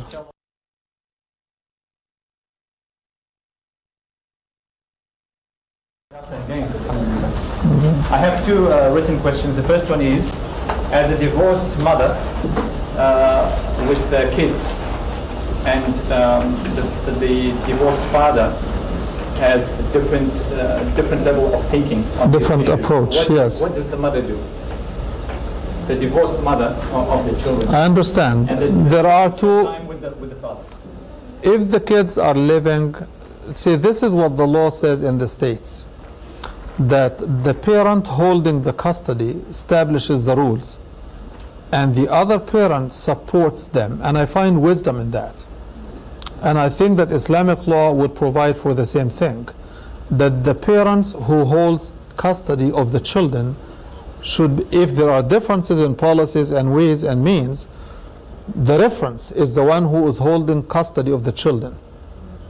Okay, and the, the, the parent who doesn't should be convinced that this is for the best interest of the children. Okay, then the question is how about when he has them or when she has them? Should they change the policy? The answer is no. They should keep the policy because it provides for stability, consistency, and it's good for the kids. So the, the, the, uh, if there is any need, the sister needs to get all the need she can, the help she needs from the community to establish that direction, that the father would agree, at least they can agree to things that they can agree to. If they can agree on 10 points, if they agree to 7, that's fine. Okay? But then he has to give in to the three that she insists that are better for the child, unless the mediating party can convince her otherwise. So, so both parents should agree on a policy uh, for the kids. Yes, but if they are separated and if they are in disagreement over the policy, then mediation should come in. But the primary issue is if mediation doesn't succeed to reconcile between the two, then the policy of the custodian parent should hold. But that's not going to result in the father, for example, if he does not endorse the, uh, uh, the policy, then he has custody of the, the children, not uh, enforcing it. he has to understand that this is going to ruin. Uh, first of all, it's counterproductive because the kids will manipulate both parents. They will go one way and say one thing, and they go the other way and say the other thing. Okay, so this is counterproductive. Number two, it teaches hypocrisy, as if there are two religions: one, the Islam of the mother, and the second is the Islam of the father, and that's untrue. Islam has a minimum criteria that everybody should abide by. So there is, this is a fault in, in, in, in having two policies anyway. The third uh, uh, difficulty is that the kids themselves will develop more confusion and more hatred to one of the two parents who is the disciplinarian. And why Islam would support the legal policy of the United States in that direction, that the custodian parent holds uh, the grounds to the policy, is basically because the child will have to develop some level of trust of what he has to be dealing with in terms of discipline. So the mother has the kids for seven, for five days, and the father gets the kids over the weekend. Then if the mother is the one that has to discipline the children, she will have to suffer everything because she will be the one saying no, no, no, no. And the father will take them to the park, will take them to the movie, will do this, will do that. And he becomes the, the, the, the honeymoon, and she becomes like hellfire. And that's, that's unfair and unrealistic, or the opposite for that matter. Okay? So uh, there is a good reason for the Sharia of Islam that the, the custodian parent should establish the policy and the other parent should cooperate. The next question is, uh, uh, is the fight for independence with teenagers saying that they, they don't want to go with their parents, for example, is this at all acceptable? Uh, is that acceptable? Are there any ways to change their attitudes? Can you repeat the first part of the question? Their fight for independence. Mhm. Uh, are there ways to change their attitudes? So that they don't, do so that, say, no, don't want to go. so that they don't seek independence? Um, The example was when teenagers say that they don't want to go with their parents, for example. Right, for a visit or something. Accepted. Yeah, okay. Well, basically, this is part of the bargaining process that goes on between parents and teenagers. Uh, your teenagers do not develop uh, an abrupt kind of attitude all of a sudden overnight. They come with it and they show little signs of resentment over a period of time. So you have to monitor those signs when they are 8 years old, 9 years old, 10 years old, and 11, and then they start saying, you know, I don't want to do this, I don't want to do this. You have to monitor those uh, yes, early on and track what do they really reflect. Is it just the innocent desire of being independent or is it hatred of the authority of the parent or is it hatred of control of the parent or is it hatred of the family that we want to visit and their kids are nasty and stuff like this? What exactly it is? Because as I said in the beginning, الحكم على الشيء فرع عن تصوره. Before you judge anything, you have to dig a little bit deeper to know where they are coming from. Once you decide this, you are able to deal with it. But you have to analyze and sort out the kind of behavior and motives behind the behavior first. Now the question is, but if the child nevertheless comes and says, I don't want to go with you, it's a matter of parental decision. If you feel that it is safe to leave, the, to leave them home, okay, that's fine, leave them home. They are not going to kill themselves. Yeah, don't make a big deal about it, but talk about it until you are comfortable that they are not going to do something nefarious in your absence. Any other questions? Ali? in situation, you actually raised a couple of points, uh, or at least the point about the fathers not being available. In a situation, uh, I'm not sure about other fathers, but in a situation where, say, for example, the um, there's a new family business or new, you're starting a new business, or in some in some um, uh, areas of work, let's say in IT, it's very demanding. Um, so, if, you know, especially if he's a programmer or whatever, he, he has to stay back late. He, he sometimes has to work on weekends. You know, if he's starting a new business, there's a lot of demand there. Right. It takes up a lot of his time. So, what can the father do, and how can he and the mother work together? Well, first of all, the father has to factor in the importance of his role in raising the children. Because if we give in to the idea that we fathers are too busy to raise our children because we're having a new business, that becomes like a cycle that feeds into itself. You know what? When I finish my graduate studies, do you know what? When I get a good job, do you know what? When I get a better job, do you know what? When I get my own business, now I can have my own time. Do you know what? Business is very time consuming. Do you know what? I'm dying. by the time you get there, they have already grown up, they don't need you. They need you the most when they need you. Okay? Okay, let me not be harsh because I know that time is not on our side, all of us. I believe it is still a matter of trade off. What do you want and for what price? How much business do you want and at what price do you want it? If the price is raising your kids, then this is too expensive. So look at it this way how much am I willing to sacrifice to raise my kids? And is it good business for me? And how much business am I willing to make at the expense of my children? And the balance is schedule them in your life at least once a week. Okay? To sit down once a week to take them out. These are two uh, occasions that, that, that they need you. Okay?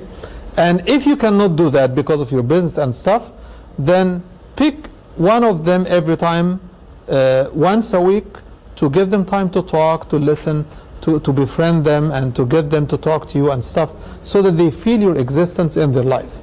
But I believe it's much cheaper to sit with all of them all at once than have uh, you know every one of them independently and separately. Although this has value and this has value, but it's a matter of balance. Uh, I, I've been going with many parents uh, having the problem is that they, uh, for each one of their sons or daughters, they give them their own privacy Yes. belong- belongings, and they and the parents always suffer because each one wants his. I mean, he has his own things. He has his own privacy. Yes, This yes. is his.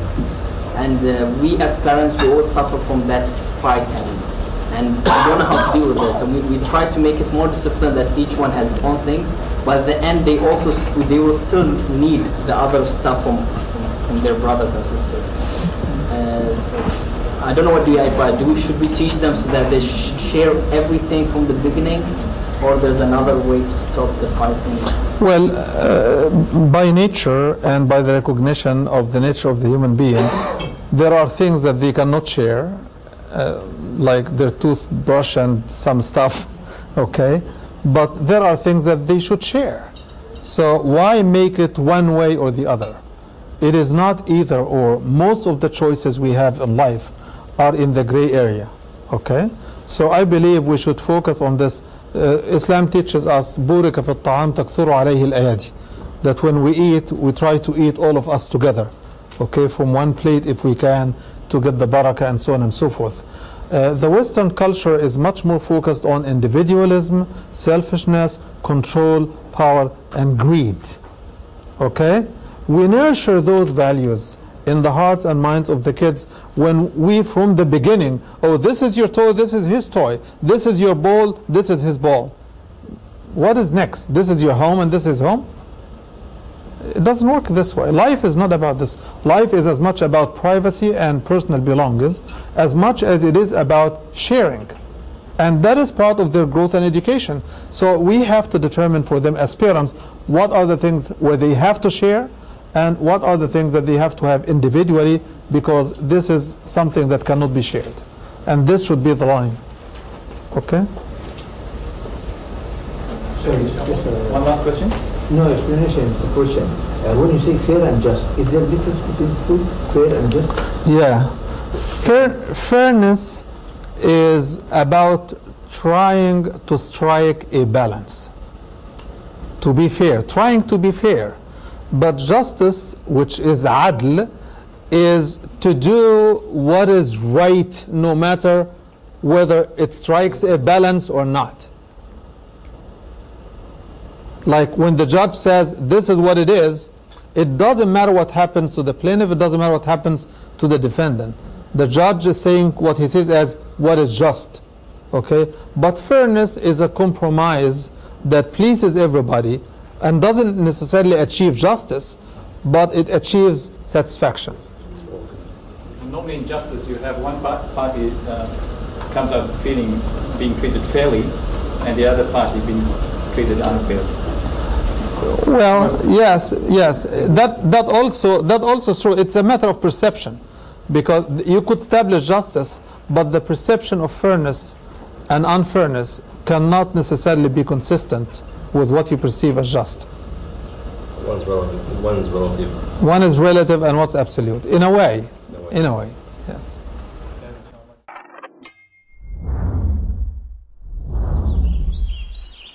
One Islam Productions, an Islamic film studio established in Australia, is dedicated to producing films for all Muslims. Just some of the films by One Islam Productions. Children's programs, Islam for Me, We Remember Allah, Storytime and more. Educational films, Pray as you have seen me pray, Words, Ramadan, Renewal of Faith, documentaries. We at One Islam Productions believe that Islam is precious and deserves to be presented in only the highest quality. Visit us at www.oneislam.net for more information. One Islam Productions, a film production company run by Muslims for Muslims.